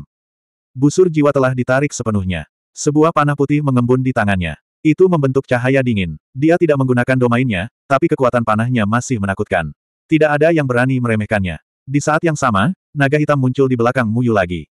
Itu mengembunkan nafas hitam di mulutnya dan menembakkannya ke arah Muyu. Mati, Han Xiang Luan mencibir. Suara mendesing. Anak panah putih itu meninggalkan tali busur dan melesat di udara. Sepertinya ia telah menembus kehampaan. Seluruh kehampaan bergetar sesaat. Bersama dengan nafas naga hitam yang kejam, mereka menyerang Muyu dari depan dan belakang. Kecepatan mereka sangat cepat sehingga menutup semua rute pelarian Muyu. Namun, Muyu dengan tenang mengangkat pedang langit di tangannya lagi. Pedang langit menggerakkan awan di langit. Matanya tertutup cahaya hitam dan putih. Mata kirinya dipenuhi dengan cahaya putih yang kuat, dan mata kanannya ditutupi oleh cahaya hitam yang mematikan. Yin dan Yang yang kacau berputar dan bergabung menjadi pedang langit. Di saat yang sama, kekuatan domain dicurahkan lagi. Hidup dan mati dalam sekejap mata. Kemampuan domain Goumang. Suara mendesing. Mata kanan Muyu memancarkan cahaya hitam pekat. Itu seperti desahan dewa kematian. Cahaya hitam diserap oleh pedang surgawi. Seluruh pedang surgawi itu seperti pedang dewa yang dapat menghancurkan langit. Itu membuat seluruh langit retak. Udara menjadi sangat menyesakkan. Seolah-olah pedang surgawi mencekik tenggorokan semua orang. Hal itu membuat mereka sulit bernapas. Bagaimana ini mungkin? Domain ini. Anda, mengapa Anda memiliki dua domain? Han Xiang Luan terkejut. Dia tidak pernah berpikir bahwa Mu Yu sebenarnya memiliki dua domain. Apa yang berbeda dari domain diam Yukian Kun adalah domain Mu Yu saat ini sangat luas dan perkasa. Setelah menyatu dengan aura agung pedang surga, seluruh pedang surga telah menjadi senjata yang bisa mengendalikan kematian. Namun, Han Xiang Luan tidak menggunakan domainnya sendiri saat ini. Panah kekuatan jiwanya jauh lebih lemah dari sebelumnya. Bahkan dengan bantuan naga hitam, itu bahkan tidak layak disebutkan di depan pedang surgawi. Pedang surgawi yang kuat menyapu cahaya hitam di langit. Seolah-olah langit terbelah dua, kekosongan itu dipenuhi aura kematian. Suara siulannya seperti guntur. Suara itu mengguncang gendang telinga Han Xiang Luan hingga dia tidak bisa mendengar apa pun. Pada saat dia bereaksi, pedang surgawi telah tiba. Retakan. Pedang surgawi langsung menghancurkan panah putih di langit. Ia dengan ganas berlari menuju Han Xiang Luan. Pedang surgawi hitam itu berdesir di udara dan menghancurkan sepenuhnya penghalang putih yang dipasang Han Xiang Luan di depannya. Han Xiang Luan meraung. Tubuhnya tiba-tiba bersinar dengan cahaya putih. Dia berubah menjadi hantu putih. Dia ingin melarikan diri. Fakta bahwa Muyu memiliki dua kemampuan domain jauh melampaui ekspektasinya. Dia masih tidak mengerti bagaimana seseorang yang baru saja melangkah ke tahap kendaraan hebat bisa memiliki dua kemampuan domain. Tidak peduli siapa orangnya, ketika mereka memahami kemampuan domain, mereka hanya dapat memiliki satu kemampuan domain. Namun, Han Xiang Luan lupa tentang identitas Muyu. Dia bukan hanya murid Jian Ying Chen Feng, tetapi juga reinkarnasi dari Spirit Lord Goumang. Tersegel di dalam dirinya adalah domain bling hidup dan mati Goumang yang kuat. Kamu tidak bisa membunuhku. Han Xiang Luan menekan keterkejutan di hatinya dan mencibir. Sebuah liontin giok putih muncul di tangannya. Liontin giok itu ditutupi dengan tanda yang kuat. Ada juga jejak kekuatan domain mengerikan yang tersegel di dalamnya. Menabrak. Liontin giok putih di tangan Han Xiang Luan tiba-tiba hancur. Kekuatan domain mengalir deras dengan dia sebagai pusatnya. Aura menakutkan dari domain tersebut tidak mau kalah karena menyambut Muyu. Kemampuan domain, iblis jiwa segala arah. Itu datang dari tempat ketiga di peringkat abadi tertinggi, domain Yue Hansha. Weng. Kekuatan jiwa putih tersapu dari tangan Han Xiang Luan dan seluruh kehampaan sepertinya terkurung. Semua energi roh tersedot oleh kekuatan jiwa dan berubah menjadi jaring laba-laba yang saling terkait. Jiwa putih yang tak terhitung jumlahnya merangkak keluar dari sarang laba-laba dan melolong di udara. Suaranya sangat memekakkan telinga, seperti kuku yang menggores papan kayu, menyebabkan jantung seseorang tergores oleh seratus cakar. Ledakan, ledakan, ledakan. Setelah iblis jiwa putih ini terbang keluar dari langit, mereka berkumpul. Jaring langit di udara seperti penghalang yang tidak bisa dihancurkan. Itu sebenarnya mengelilingi pedang surgawi Muyu dari sudut yang rumit dan kemudian bergabung dengan pedang surgawi Muyu. Memadamkan. Wilayah hidup dan mati yang menutupi pedang surgawi menghilang dalam sekejap mata. Itu dihancurkan secara paksa oleh Omnidirection Solvien. Pada saat ini, nafas naga hitam di belakangnya keluar lagi. Muyu mengerutkan kening. Saat pedang surgawi diimbangi, energi roh di tubuhnya telah diekstraksi. Menggunakan dua domain berbeda masih cukup membebani baginya. Meskipun dia kini telah melangkah ke tahap kendaraan hebat, hal itu masih sedikit berat. Bang! Tubuh Muyu tersapu oleh nafas naga hitam. Seluruh tubuhnya terbang keluar dan menabrak gunung, mengguncang seluruh gunung. Namun, gunung ini juga diselimuti oleh kekuatan yang lebih dahsyat. Oleh karena itu, meskipun kekuatan Muyu saat ini sangat tirani, dia tetap tidak dapat meninggalkan jejak apa pun di gunung ini. Muyu merasa suasananya menindas dan dia hampir tidak bisa bernapas. Mengaum. Naga hitam itu menggulung ekor hitamnya yang mematikan dan terus menyerang ke arah Muyu. Muyu mengertakkan gigi dan mengetuk tebing di belakangnya dengan ujung kakinya. Formasi konstelasi biduk muncul dan membungkus tubuhnya, membentuk hantu. Dia secara paksa berteleportasi keluar. Ekor naga hitam itu menghantam gunung, mengguncang gunung itu lagi. Hahaha, apakah menurut Anda hanya Anda yang memiliki dua kemampuan domain? Saya lupa memberitahu Anda, saya memiliki enam kemampuan domain di tangan saya. Han Xiang Luan tertawa bangga. Enam kemampuan domain. Orang-orang dari klan jiwa sangat siap.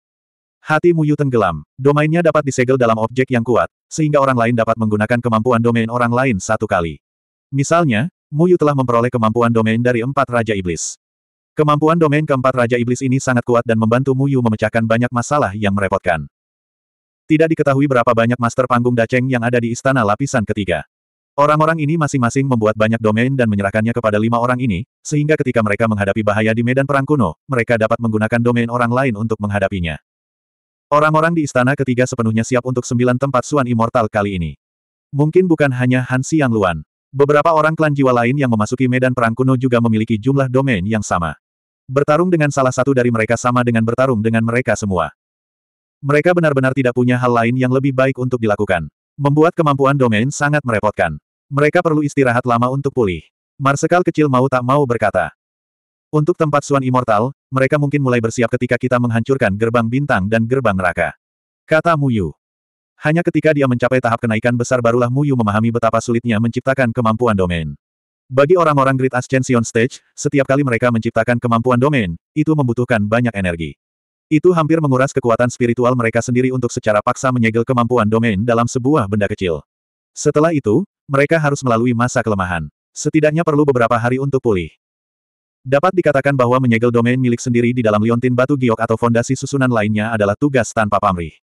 Secara umum, orang-orang Great Ascension Stage tidak akan dengan sengaja melakukan ini kecuali mereka benar-benar ingin melindungi seseorang. Selain itu, membuat item domain akan menghabiskan banyak energi. Lagi pula, itu menggunakan domain orang lain. Jika mereka tidak mengenalnya, akan sulit menggunakan kekuatan penuhnya. Namun, orang-orang klan jiwa sepenuhnya siap untuk pertempuran Suan Immortal ini. Han Xiang Luan memiliki enam kemampuan domain. Bahkan jika dia menggunakan salah satu dari mereka, sepuluh arah jiwa iblis, untuk membatalkan kekuatan pedang surgawi Muyu, masih ada empat yang tersisa. Selain domainnya sendiri, ada lima. Bang! Naga hitam itu sudah memamerkan taringnya dan mengacungkan cakarnya ke arah Muyu. Muyu menghindar lagi dan berteleportasi jauh. Meskipun naga hitam ini tidak menggunakan domain tertentu, anehnya kekuatannya masih bersifat tirani. Itu cukup merepotkan bagi Muyu. Apa yang kita lakukan sekarang? Apakah kita masih menggunakan Yukian Kun untuk menjaga wilayah kekuasaannya? Panglima kecil bertanya. Tidak, domain ini menghabiskan banyak kekuatan spiritualku. Muyu menggelengkan kepalanya. Yukian Kun dapat merusak domain orang lain dan mengubah aturan domain tersebut. Dia bisa mengendalikan domain di tangannya sendiri. Namun, semakin kuat suatu domain, semakin besar kekuatan roh yang diperlukan untuk melemparkannya. Dengan situasi Muyu saat ini, tidak realistis baginya untuk terus menggunakan domain lain yang telah digunakan oleh Cold Fragrance Chaos. Han Xiang Luan sepertinya memahami hal ini. Dua bola jiwa lagi muncul di tangannya. Kedua bola jiwa ini terbungkus gelombang kuat. Itu adalah dua domain Great Ascension Stage lainnya. Saya akui bahwa domain yang Anda pahami sangat kuat, dan Anda dapat mengontrol domain saya, tetapi itu tidak cukup. Saya ingin melihat apakah Anda dapat mengontrol tiga domain yang sangat berbeda secara bersamaan. Han Xiang Luan tertawa dingin. Cahaya putih keluar dari tangannya dan menghancurkan kedua bola jiwa itu. Tiba-tiba angin menderu-deru, kilat menyambar, dan guntur menderu-deru. Cahaya putih yang tak terhitung jumlahnya terjalin dan menyembur keluar, menutup seluruh kekosongan. Domain, kosongkan tangan hantu. Dari tempat keempat di papan peringkat abadi tertinggi, domain Guan Hua. Domain, bahasa hantu awan darah. Dari tempat kedua di papan peringkat abadi tertinggi, domain Leng Yukiu. 1108. Langit ditutupi oleh wilayah dua panggung kendaraan hebat. Seluruh area itu seperti awan hitam, dipenuhi dengan tekanan yang mengerikan seolah-olah akan merobek langit dan menghancurkan seluruh dunia. Tangan hantu yang tak terhitung jumlahnya muncul dari kehampaan. Tangan hantu ini semuanya diselimuti cahaya hitam. Mereka tiba-tiba muncul di sekitar Muyu. Setiap tangan hantu sangat kuat. Udara bergetar karena tekanan, dan seluruh tanah bergemuruh hebat. Kekosongan di atas tangan hantu itu ditutupi oleh awan berwarna merah darah. Awan ini sepertinya terkondensasi oleh darah. Warnanya merah dan menetes, dan tidak diketahui berapa banyak darah yang terkumpul. Awan darah terus berubah, dan roh-roh kebencian yang tak terhitung jumlahnya berjuang di dalamnya. Tangan hantu hitam itu tumpang tindih dengan awan darah, dan udara dipenuhi dengan bau darah yang kental, yang membuat mual. Berdengung. Suara hantu sedih keluar dari awan darah, membentuk pusaran. Gelombang suara meluncur dari pusaran dan meluncur ke arah Mu Yu dari segala arah. Gelombang suara tidak dapat dihentikan, dan mustahil bagi manusia untuk melepaskan diri darinya. Mu Yu dengan tenang melihat dua kemampuan domain yang ditumpangkan. Pedang surgawi di tangannya meraung sekali lagi. Puluhan ribu pedang ki melonjak ke langit. Chaotic Yin dan yang berputar di sekelilingnya, membentuk aura yang sangat kejam dan luas. Itu seperti aura yang kuat, melindungi tubuh Mu Yu. Pada saat ini, mata Muyu dipenuhi cahaya hitam dan putih lagi. Mata kirinya tiba-tiba mengeluarkan cahaya putih tak berujung. Cahaya putih membubung ke langit, seperti sumber kehidupan paling murni di dunia, dan disuntikkan ke pedang surga. Aura pedang langit langsung meningkat, dan seluruh tubuhnya ditutupi oleh cahaya putih. Pedang itu berkomunikasi dengan langit dan bumi, dan pedang Ki memancarkan vitalitas. Ke mana pun perginya, seolah membawa harapan bagi dunia, membuat orang merasakan lonjakan vitalitas. Pedang Ki yang penuh vitalitas menebas, dan bertemu dengan dua domain Great Vehicle Stage yang digunakan oleh Han Xiang Luan. Ledakan. Aura dahsyatnya seperti banjir yang membobol bendungan, menenggelamkan seluruh bumi. Konfrontasi antara Heaven Sword dan dua domain Great Vehicle Stage menimbulkan suara gemuruh yang menggemparkan. Pedang Ki yang tak ada habisnya di pedang surga mulai menyebar secara bertahap ke tangan hantu dan tangan hantu yang mendekat. Setelah dua domain Great Vehicle Stage didukung oleh vitalitas, mereka mulai berkembang secara bertahap, seolah-olah mereka telah menstimulasi potensi yang tak terbatas, dan menjadi lebih mengejutkan. Mati. Han Xiang Luan melihat bahwa dua domain yang dia pinjam menjadi semakin kuat, dan senyuman ganas muncul di wajahnya. Dia memiliki domain orang lain, yang sama saja dengan bekerja sama dengan dua master panggung Dacheng untuk melawan Muyu. Awalnya ini adalah pertarungan yang tidak adil. Tidak peduli seberapa kuat Muyu, mustahil baginya untuk menandingi beberapa dari mereka. Belum lagi, Sky Sword telah memperkuat domain Void Ghost Hand dan domain Blood Cloud Ghostly Whisper. Oleh karena itu, situasi Muyu saat ini bahkan lebih tidak rasional. Menurutnya, Muyu pasti sudah mati. Mati, saya kira tidak demikian. Kaki Muyu sudah berkedip dengan arai delapan trigram, dan seluruh tubuhnya menjadi ilusi yang tak tertandingi. Seolah-olah dia telah menyembunyikan dirinya di dunia fana, menjadi tidak bisa dilacak. Suara mendesing. Nafas naga hitam di belakangnya langsung melewati tubuh Muyu, tapi seolah-olah itu mengenai ilusi. Muyu berdiri di tempatnya, tidak bergerak. Matanya seperti dua api hitam dan putih yang saling terkait, dan seluruh tubuhnya memancarkan aura yang sangat berbeda. Dia telah menjadi juru bicara hidup dan mati. Hidup dan mati dalam sekejap mata. Kekuatan domain menyebar, menggabungkan kekosongan di sekitar Muyu menjadi dua dunia yang kabur. Mata kirinya berkedip-kedip dengan cahaya putih, namun dunia di sebelah kiri dikelilingi oleh aura kematian. Mata kanannya memancarkan cahaya hitam, namun dunia di sebelah kanannya dikelilingi oleh aura kehidupan. Hidup dan mati mempertahankan keadaan yang indah. Tubuh Muyu tampaknya telah menjadi ikan yin yang, dan matanya adalah mata ikan yin yang. Segala sesuatu di dunia kehidupan tumbuh dengan pesat, dan di dunia kematian, mereka layu tanpa daya. Bunga bermekaran dan layu, ilusi muncul dan menghilang. Hidup dan mati mengontrol langit dan bumi. Domain kedua Muyu menyebar, bertumpuk di atas domain pertama. Kedua domain tersebut saling melengkapi, membentuk siklus hidup dan mati yang mengerikan. Di wilayah kekuasaannya, hidup dan mati dipisahkan dalam sekejap. Yukian Kun miliknya tidak hanya dapat melekat pada domain orang lain, tetapi juga dapat melekat pada domain, sekejap mata antara hidup dan mati. Ledakan. Pedang langit, dengan Muyu sebagai pusatnya, memancarkan gelombang energi yang kuat. Pedang ini telah menjadi benda suci yang mengatur hidup dan mati. Ketika dinaikkan, semuanya akan kembali ke musim semi. Jika jatuh, itu akan menghancurkan alam semesta.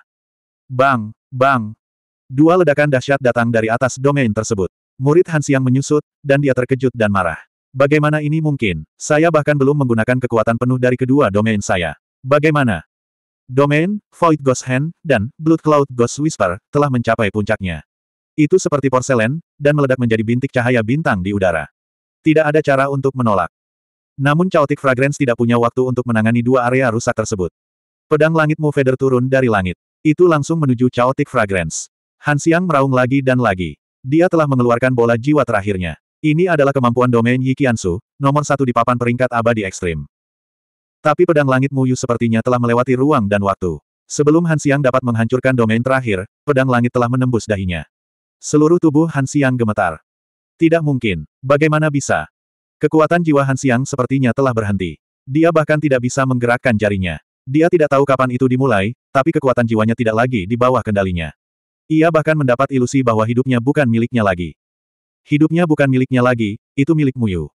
Energi hitam dan putih mengalir ke tubuh Han Xiang. Han Xiang meraung dan mencoba melawan, tetapi dia menyadari bahwa dia telah kehilangan kemampuan untuk melakukannya. Separuh kiri tubuhnya ternoda oleh energi kehidupan. Dia tiba-tiba menjadi sangat suci. Dia seperti dewa yang agung, layak disembah. Namun, bagian kanan tubuhnya dipenuhi aura kematian. Kekuatan jiwanya telah dilahap, memperlihatkan penampilan aslinya yang kotor dan jelek. Dia seperti badut yang melompat-lompat. Mulutnya lancip, dan kulitnya dipenuhi urat-urat hijau bergelombang yang tampak seperti cacing tanah. Dia tampak sangat jahat. Naga hitam itu meraung dan menyerang Muyu. Namun di tengah jalan, ia dikejutkan oleh kekuatan pedang langit Muyu. Matanya yang galak menunjukkan ekspresi ketakutan. Rasanya seperti telah melihat perpaduan cahaya dan neraka. Itu sangat menakutkan. Muyu hanya menoleh dengan acuh tak acuh dan menatap naga hitam yang tubuh bagian atasnya berupa kerangka. Naga hitam itu terintimidasi oleh kekuatan mata hitam dan putihnya. Tidak ada lagi kebrutalan seperti sekarang. Ia berbalik dan berlari tanpa ragu-ragu, tanpa penundaan sedikit pun. Mu Yu tidak peduli dengan naga hitam itu. Dia hanya melihat ke arah Han Xiang yang tertahan. Kemudian dia mengulurkan tangan dan perlahan-lahan mengambil manik jiwa yang Han Xiang tidak punya waktu untuk menggunakannya. Itu berisi domain Yi Qiansu. Yi Qiansu adalah orang abadi ekstrim nomor satu di peringkat abadi ekstrim. Wilayah kekuasaannya pasti luar biasa. Hidup dan mati mengendalikan alam semesta. Dengan wilayah kekuasaanku, aku hanya perlu pemikiran untuk mengubahmu menjadi abu dan memasukkanmu ke dalam kutukan abadi. Tapi aku tidak berencana membiarkanmu mati begitu saja karena masih ada satu hal yang harus kulakukan. Muyu memandang Han Xiang Luan dengan acuh tak acuh. Han Xiang Luan juga menatap mata Muyu. Dia takut dengan mata hitam dan putih Muyu. Pada saat ini, cahaya melewati mata Muyu dan memasuki mata Han Xiang Luan. Kenangan yang tak terhitung jumlahnya terbang. Ingatan Han Xiang Luan melintas di depan mata Muyu. Tapi ketika Muyu hendak melihat lebih dekat, ingatan Han Xiang Luan tiba-tiba hancur. Haha, Muyu, mustahil bagimu untuk melihat ingatanku. Tuhan telah lama mengetahui kemampuanmu. Dia telah menetapkan batasan dalam pikiran kita masing-masing. Kamu harus menyerah pada gagasan itu. Han Xiang Luan berkata dengan kejam. Setelah mengatakan ini, matanya perlahan menjadi bingung. Han Xiang Luan yang kehilangan ingatannya sepertinya sudah lupa siapa dirinya dan dari mana asalnya. Namun, kekuatan jiwa yang tertekan di tubuhnya tiba-tiba mulai bergetar hebat. Dia ingin menghancurkan dirinya sendiri. Jika seorang kultivator tahap kenaikan besar menghancurkan dirinya sendiri, kekuatannya akan sangat menakutkan. Jika berada di benua lapisan ketiga, mungkin akan meledakkan segalanya dalam jarak 10.000 mil. Tapi domain, hidup dan mati mengendalikan alam semesta, milik Muyu telah mengendalikan kekuatan jiwa Han Xiang Luan. Ku bilang, di wilayahku, hidupmu adalah milikku. Jika aku ingin kamu mati, kamu bisa mati. Jika aku tidak ingin kamu mati, kamu tidak bisa mati. Muyu berkata dengan acuh tak acuh. Energi hitam dan putih sudah mulai berputar ke dalam pikiran Han Xiang Luan, secara bertahap membalikkan ingatannya. Mata bingung Han Xiang Luan tiba-tiba menjadi jelas dan menjadi ketakutan dan marah lagi. Kamu, bagaimana kamu bisa? Tidak mungkin, bagaimana kamu bisa memulihkan ingatanku? Han Xiang Luan meraung. Hidup dan mati mengendalikan alam semesta. Kehancuran dan kelangsungan hidup segala sesuatu berada di bawah kendaliku, termasuk ingatanmu. Ingatanmu hanya akan hancur jika aku ingin menghancurkannya. Jika aku ingin melihat ingatanmu, tidak ada yang bisa menghentikanku. Suara Muyu sangat besar. Itu bergema di benak Han Xiang Luan, menyebabkan hatinya menjadi dingin. Han Xiang Luan tidak pernah menyangka bahwa domain Muyu akan sekuat ini. Apakah ini benar-benar domain yang bisa dimiliki manusia? Tapi tatapan Muyu telah menembus ingatan Han Xiang Luan dan melihat semua yang dia tahu. Han Xiang Luan adalah ahli tahap kenaikan besar. Dia memiliki status yang sangat tinggi di Istana Lapis Ketiga dan berpartisipasi dalam hampir semua acara besar di Istana Lapis Ketiga. Untuk mencegah rahasia mereka bocor, mereka semua mengambil tindakan untuk membakar ingatan mereka. Tapi mereka masih salah perhitungan. Mereka salah menghitung bahwa Mu Yu bisa memahami domain yang menentang surga. Skema apa yang sedang dibuat oleh White Domain? 1109. Sungai dan gunung yang sempurna. Ini adalah pesan yang ditinggalkan Bai Jie untuk Han Xiangluan dan yang lainnya sebelum meninggalkan istana ketiga. Han Xiangluan menganggapnya sebagai hal yang paling penting. Ada banyak kenangan penting di benak Han Xiangluan, dan Mu Yu bisa menguraikannya satu per satu. Surga ketiga memiliki batasan yang sangat kuat yang disebut sungai dan gunung sempurna. Pembatasan ini memastikan bahwa ras aneh di luar surga ketiga tidak dapat menyerang surga ketiga. Dan sungai dan gunung sempurna adalah penghalang pelindung yang diberikan Jian Ying Chen Feng ke surga ketiga. Perlombaan jiwa dikirim ke surga ketiga melalui jalur reinkarnasi. Namun meski begitu, mereka tidak dapat berbuat sesuka hati mereka di surga ketiga karena sungai dan gunung yang sempurna. Terlepas dari apakah itu perlombaan jiwa, perlombaan tanpa bayangan, perlombaan tanpa bayangan, perlombaan tanpa bayangan, atau perlombaan bulan, mereka semua mencari tanah dan pegunungan yang sempurna. Karena mereka bukan milik surga ketiga, mereka akan sangat dibatasi di surga ketiga. Jika mereka ingin membunuh orang, mereka akan sangat dibatasi. Setelah sungai dan gunung sempurna diaktifkan sepenuhnya, ras aneh tidak akan mampu membunuh kultivator mana pun yang berada di bawah tahap penggabungan tubuh. Untuk mengendalikan semua ras di surga ketiga, pertama-tama mereka harus menghancurkan batasan sungai dan gunung sempurna. Bai Jie telah mencari lokasi sungai dan gunung sempurna selama bertahun-tahun.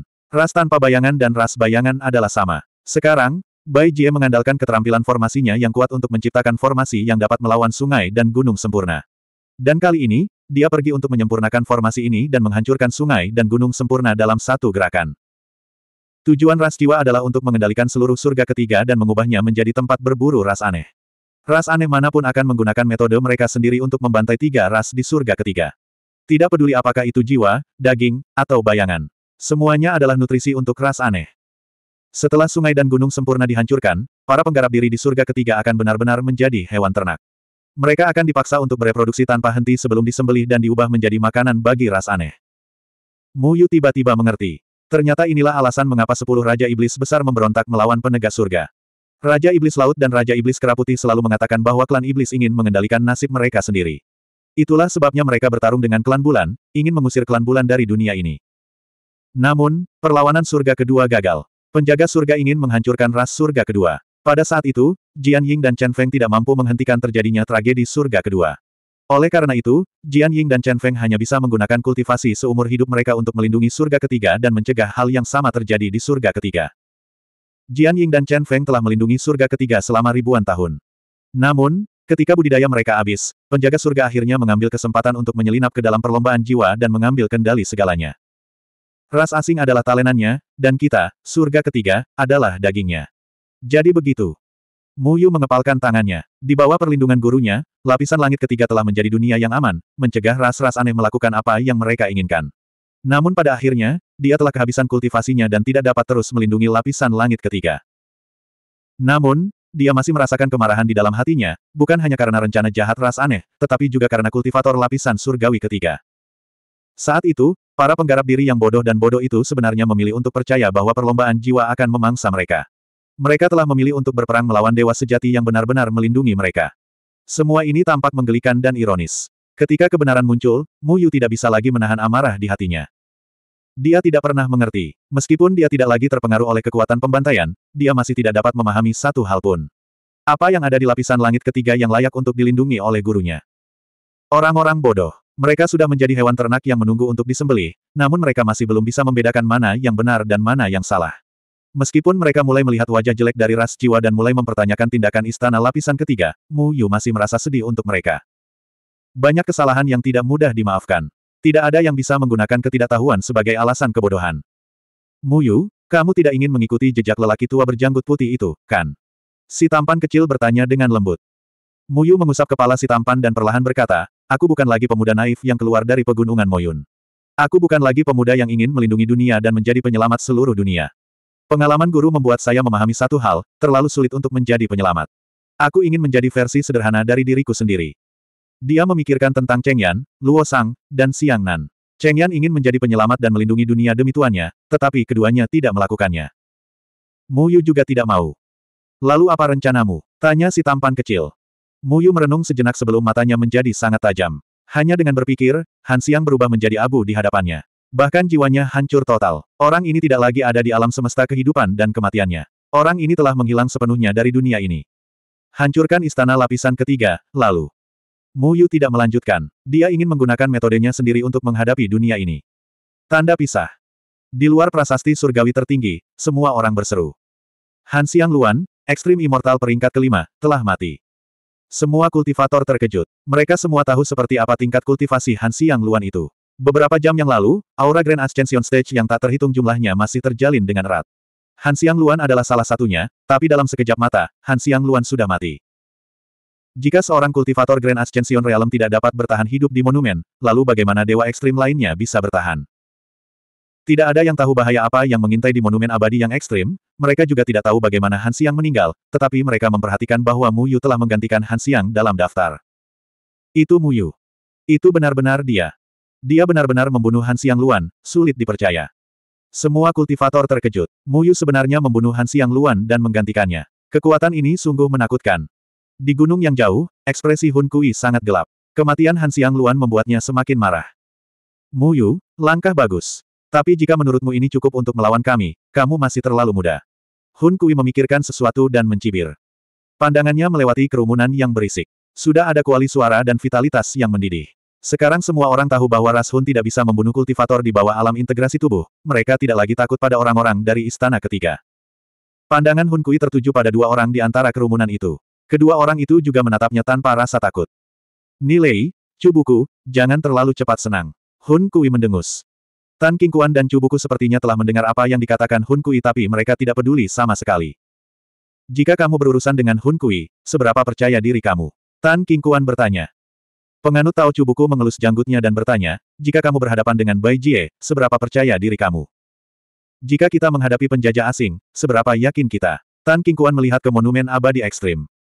Pendeta Tao Cubuku bermain dengan beberapa batu roh di tangannya dan bertanya, bagaimana jika kita menambahkan Deadwood dan Evergreen? Tan Qingquan menggelengkan kepalanya. Dia punya hal yang lebih penting untuk dilakukan. Tanda pisah tanda pisah. Medan Perang Kuno. Setiap orang yang memasuki medan perang kuno merasakan gelombang ketakutan. Keanehan tempat ini berada di luar imajinasi mereka. Itu seperti dunia lain yang telah lama hancur. Namun, reruntuhan yang tersisa dilindungi oleh berbagai kekuatan dahsyat. Kekuatan semacam ini begitu kuat sehingga bahkan dewa ekstrim di alam kenaikan besar tidak dapat menghancurkannya, apalagi kultivator alam integrasi tubuh dan alam melewati kesengsaraan lainnya.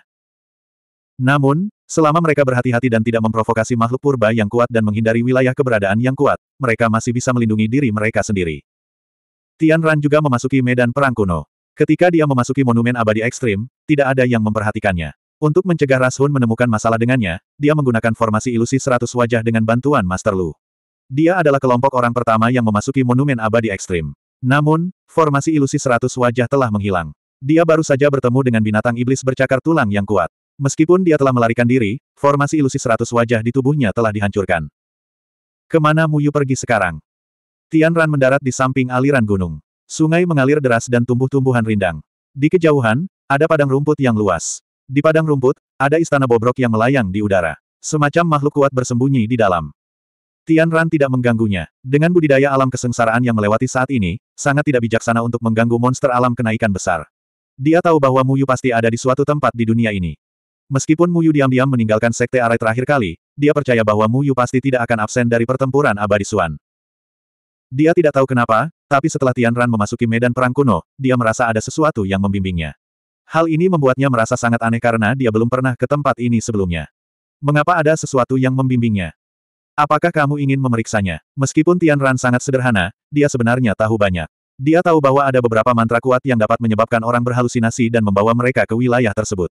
Kemudian, mereka akan dibunuh. Banyak binatang iblis yang kuat menangkap mangsanya dengan cara ini. Saat dia ragu-ragu, suara keras tiba-tiba datang dari jauh. Raungan yang begitu kuat menyebabkan seluruh tanah bergetar. Jika itu adalah lapisan surgawi ketiga, tingkat getaran seperti itu akan cukup untuk menghancurkan tanah dalam jarak seribu mil. Namun, tempat ini dijaga oleh kekuatan yang sangat kuat. Tidak ada yang hancur. Itulah kekuatan sebuah domain. Mungkinkah Muyu dan yang lainnya? Tian Ran merenung sejenak. Dia melihat sekeliling. Bukan rencana jangka panjang untuk tinggal di sini. Dia tahu bahwa Muyu dan yang lainnya bukanlah satu-satunya yang memasuki tempat ini. Ada juga orang-orang dari Sol Rache. Orang-orang itu juga harus berada di alam kenaikan besar. Mungkin juga ada orang-orang dari Sol Rache. Apa pun yang terjadi, aku akan pergi dan melihatnya. Jika itu Muyu dan yang lainnya, itu akan lebih baik. Kita bisa menjaga satu sama lain di tempat ini. Jika itu adalah perlombaan jiwa, kita akan pergi. Tian Ran memikirkannya berulang kali dan memutuskan untuk pergi ke tempat itu untuk melihatnya. Dia dengan hati-hati menyeberangi sungai yang bergejolak. Di tempat ini, dia tidak berani terbang terlalu tinggi karena takut menarik perhatian makhluk kuat lainnya. Setelah terbang sekitar satu jam, dia mendarat di aliran gunung, dan suara itu datang dari depannya. Ledakan. 1110. Tian Ran melompat ke aliran gunung dan melihat ke depannya dengan heran. Pada saat ini, aliran gunung dipenuhi cahaya putih dan ada ilusi kuat yang berkedip-kedip.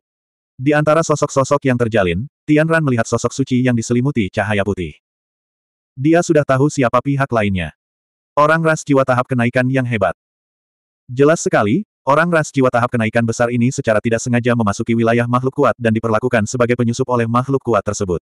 Di tempat ini, bahkan orang Sol Rache tidak memiliki hak istimewa apa pun. Mereka juga harus berhati-hati terhadap makhluk kuat di medan perang kuno. Tian Ran segera berbalik dan pergi tanpa ragu-ragu. Dia belum melangkah ke tahap Great Ascension. Jika dia bertemu dengan orang ras jiwa tahap kenaikan besar, itu bukan pertanda baik baginya. Dia hanya ingin memastikan apakah orang yang bertarung di sini adalah miliknya. Jika tidak, tidak pantas baginya untuk tinggal. Namun, dia tidak pergi jauh. Saat dia mundur dua li, cahaya putih tiba-tiba muncul di depannya dan menekannya. Siapa ini? Tian Ran kaget. Dia menghindar ke samping dan pedang surga di tangannya sudah menghadap cahaya putih. Ding! Pedang Kitian Ran langsung patah, tetapi Tian Ran mundur lagi. Gadis surgawi dari Sekte Debu Merah, aku percaya kamu baik-baik saja sejak terakhir kali kita bertemu. Sosok suci muncul di sekitarnya. Kekuatan domain telah menutup semua jalur mundur Tian Ran. Siapa kamu? Ekspresi Tian Ran berubah. Yang rendah hati ini adalah Tian Ran, Nona Tian Ran benar-benar berbakat. Pantas saja orang mengatakan bahwa gadis surgawi debu merah adalah satu dari sepuluh ribu. Keberuntungan bocah Muyu itu sangat bagus. Ketiga dalam daftar abadi ekstrim, Yue Hansha. Saat ini, Yue Hansha sedang menatap Tian Ran dengan wajah penuh ejekan. Dia dengan malas mengangkat kepalanya dan melihat ke kejauhan. Ada fluktuasi kekuatan jiwa Great Ascension Stage. Saya awalnya datang untuk memeriksa situasinya. Sepertinya kita benar-benar ditakdirkan. Ekspresi Tian Ran tegang. Hatinya sudah tenggelam ke dasar. Dia dengan kuat memegang pedang embun abadi di tangannya. Embun abadi itu seperti genangan air jernih yang berkedip-kedip dengan cahaya dingin yang menggigit. Bertemu dengan orang Sol Rache, sesuatu yang buruk mungkin terjadi.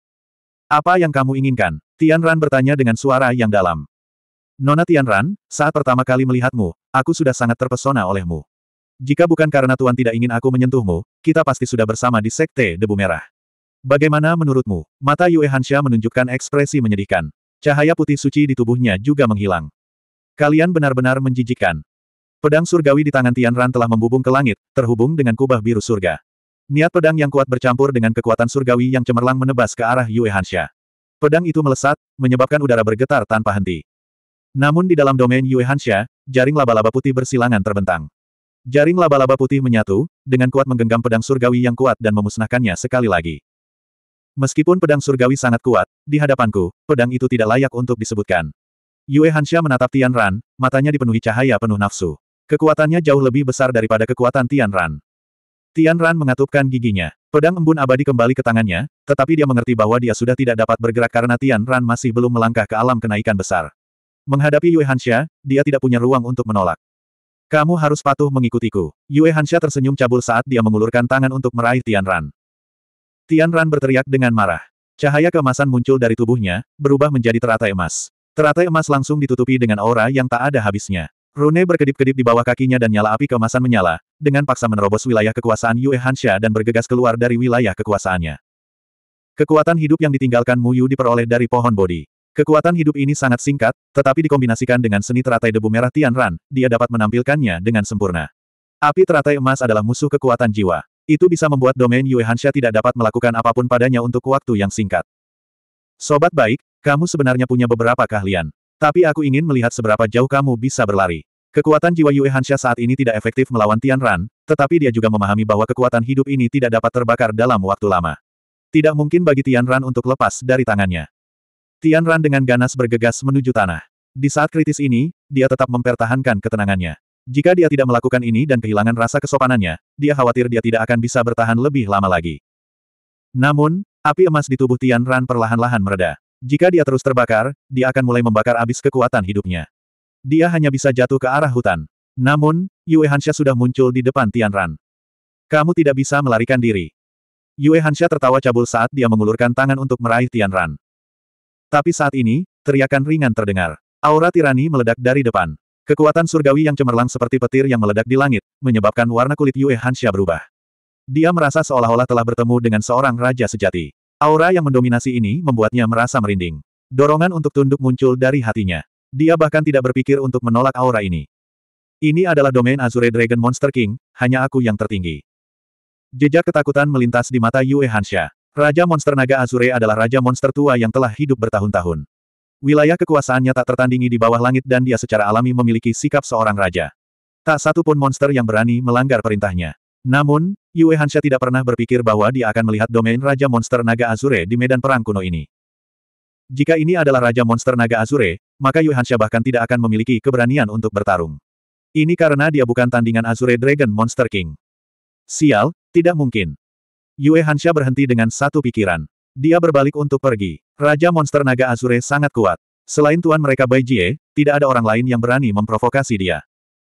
Namun, dia segera menyadari ada sesuatu yang tidak beres. Ini karena aura Only Iam Supreme ini sepertinya kehilangan sesuatu. Jika Raja Monster Naga Azure yang asli muncul, maka dia akan dibunuh dengan satu pikiran. Dia dengan cepat bereaksi. Ini bukanlah Raja Monster Naga Azure. Saat dia berbalik lagi, Tian Ran sudah menghilang. Kedua sosok itu sudah lari ke kejauhan. Brengsek, Anda benar-benar berani bermain dengan saya. Yue Hansha dengan marah meraung. Dia segera mengejar kedua sosok itu. Tanda pisah tanda pisah. Di tepi sungai yang jernih, sosok Yue Hansha melintas. Dia dengan marah menyapukan pandangannya ke area tersebut dan menemukan bahwa dia tanpa sadar telah kehilangan jejak Tian Ran. Yue Hansha sangat marah. Dia awalnya berpikir bahwa menangkap Tian Ran akan menjadi hal yang mudah. Dia tidak pernah berpikir bahwa dia akan diselamatkan di tengah jalan. Dia sangat marah. Setelah berpatroli di daerah itu, dia hanya bisa pergi dengan enggan. Satu jam kemudian, sebuah gelembung muncul di air yang mengalir deras. Gelembung itu perlahan menghilang, memperlihatkan dua sosok. Mereka adalah Tian Ran dan Kiao Sui. Tidak apa-apa, Kiao Sui berkata dengan lembut. Dia juga telah memasuki monumen abadi yang ekstrim sebelum Muyu. Tidak ada yang memperhatikannya. Kali ini, dia kebetulan lewat dan mengenali Tian Ran yang sedang dikejar oleh para spirita. Saat itu, dia tidak terlalu banyak berpikir dan langsung bergegas menyelamatkannya. Kiao Sue menginjak air. Seluruh tubuhnya anggun, seperti roh di dalam air. Itu sangat menarik perhatian. Dia perlahan berjalan ke pantai dan duduk di atas batu. Tian Ran dengan penasaran memandang Kiao Sue dan berkata, terima kasih. Kiao Sue tersenyum tipis. Tidak perlu. Aku kebetulan lewat. Keduanya pernah bertemu sekali sebelumnya. Kembali ke desa delapan rumput, ras monster datang untuk merebut mata Rocky. Tian Ran dan Kiao Sue masing-masing mewakili ras manusia dan ras monster. Pada saat itulah keduanya mengetahui bahwa mereka telah jatuh cinta dengan pemuda yang sama. Terjadi keheningan untuk waktu yang lama. Kedua gadis itu sepertinya tidak tahu harus berkata apa. Mereka tidak akrab satu sama lain. Hanya saja mereka memiliki hubungan yang halus karena orang yang sama. Saat ini, sangat tidak pantas bagi mereka untuk bertemu di tempat berbahaya seperti itu. Saya pikir Anda sudah menjadi ahli Grand Ascension Stage. Tian Ran memecah kesunyian. Kiao Sue duduk di atas batu di tepi sungai dan menggelengkan kepalanya. Tidak, itu adalah kemampuan domain yang diberikan kakek Azure Dragon untuk menyelamatkan hidupku. Tian Ran memasang ekspresi minta maaf di wajahnya. Saya turut prihatin karena Anda kehilangan sesuatu yang bisa menyelamatkan hidup Anda. Di tempat berbahaya ini, memiliki kemampuan domain Grand Ascension Stage di tangannya sudah cukup untuk memberinya lebih banyak harapan untuk bertahan hidup. Namun, Kiao Sue menggunakan domainnya untuk menyelamatkan Tian Ran. Tidak apa-apa, aku masih punya beberapa, Kiao Sue berkata dengan lembut. Ada banyak raja monster di keluarganya dan dia sudah siap. Setelah menggunakan domain Azure Dragon, dia masih memiliki domain raja monster lainnya.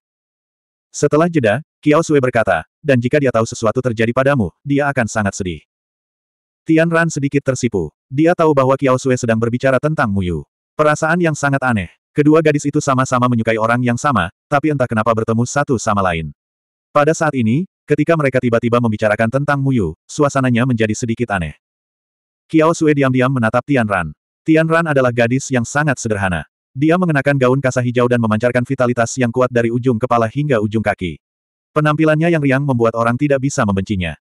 Tidak heran Muyu menyukainya. Ternyata keduanya sangat mirip. Kiao Sue diam-diam berpikir. Muyu juga orang yang sangat optimis. Dia penuh vitalitas dan mencintai kehidupan. Dia sangat mirip dengan Tian Ran yang sederhana. Tian Ran juga diam-diam melirik Kiao Sue dari waktu ke waktu. Kiao Sue cantik dan ramping, seperti peri yang tak bernoda. Dia bersih dan anggun. Suaranya juga sangat jernih, senyaman air mengalir. Tidak heran Muyu menyukainya. Dia sangat tampan. Penampilannya yang pendiam sangat sempurna, dan dia juga baik hati. Tian Ran juga diam-diam berpikir. Dia memiliki kepribadian yang lincah dan tidak bisa dilindungi undang-undang sama sekali. Kepribadiannya juga sangat santai. Dia sedikit iri pada Kiao Sue. Kedua gadis itu sedang memikirkan urusan mereka sendiri. Tak satu pun dari mereka mengatakan apa pun. Mereka berdua memikirkan mengapa Mu Yu menyukainya. Setelah berpikir sebentar, mereka tiba-tiba merasa tidak puas dengan Mu Yu. Siapa yang lebih dia sukai? Baik Tian Ran maupun Kiao Sue sedikit ragu. Mereka berdua merasa bahwa Mu Yu mungkin lebih menyukai pihak lain. Mereka berdua iri pada pihak lain dan berharap bisa memiliki ciri khas pihak lain. Dengan begitu, Mu Yu tidak akan tanggung-tanggung. Ketika aku bertemu Mu Yu, aku harus menanyakan pertanyaan ini dengan jelas.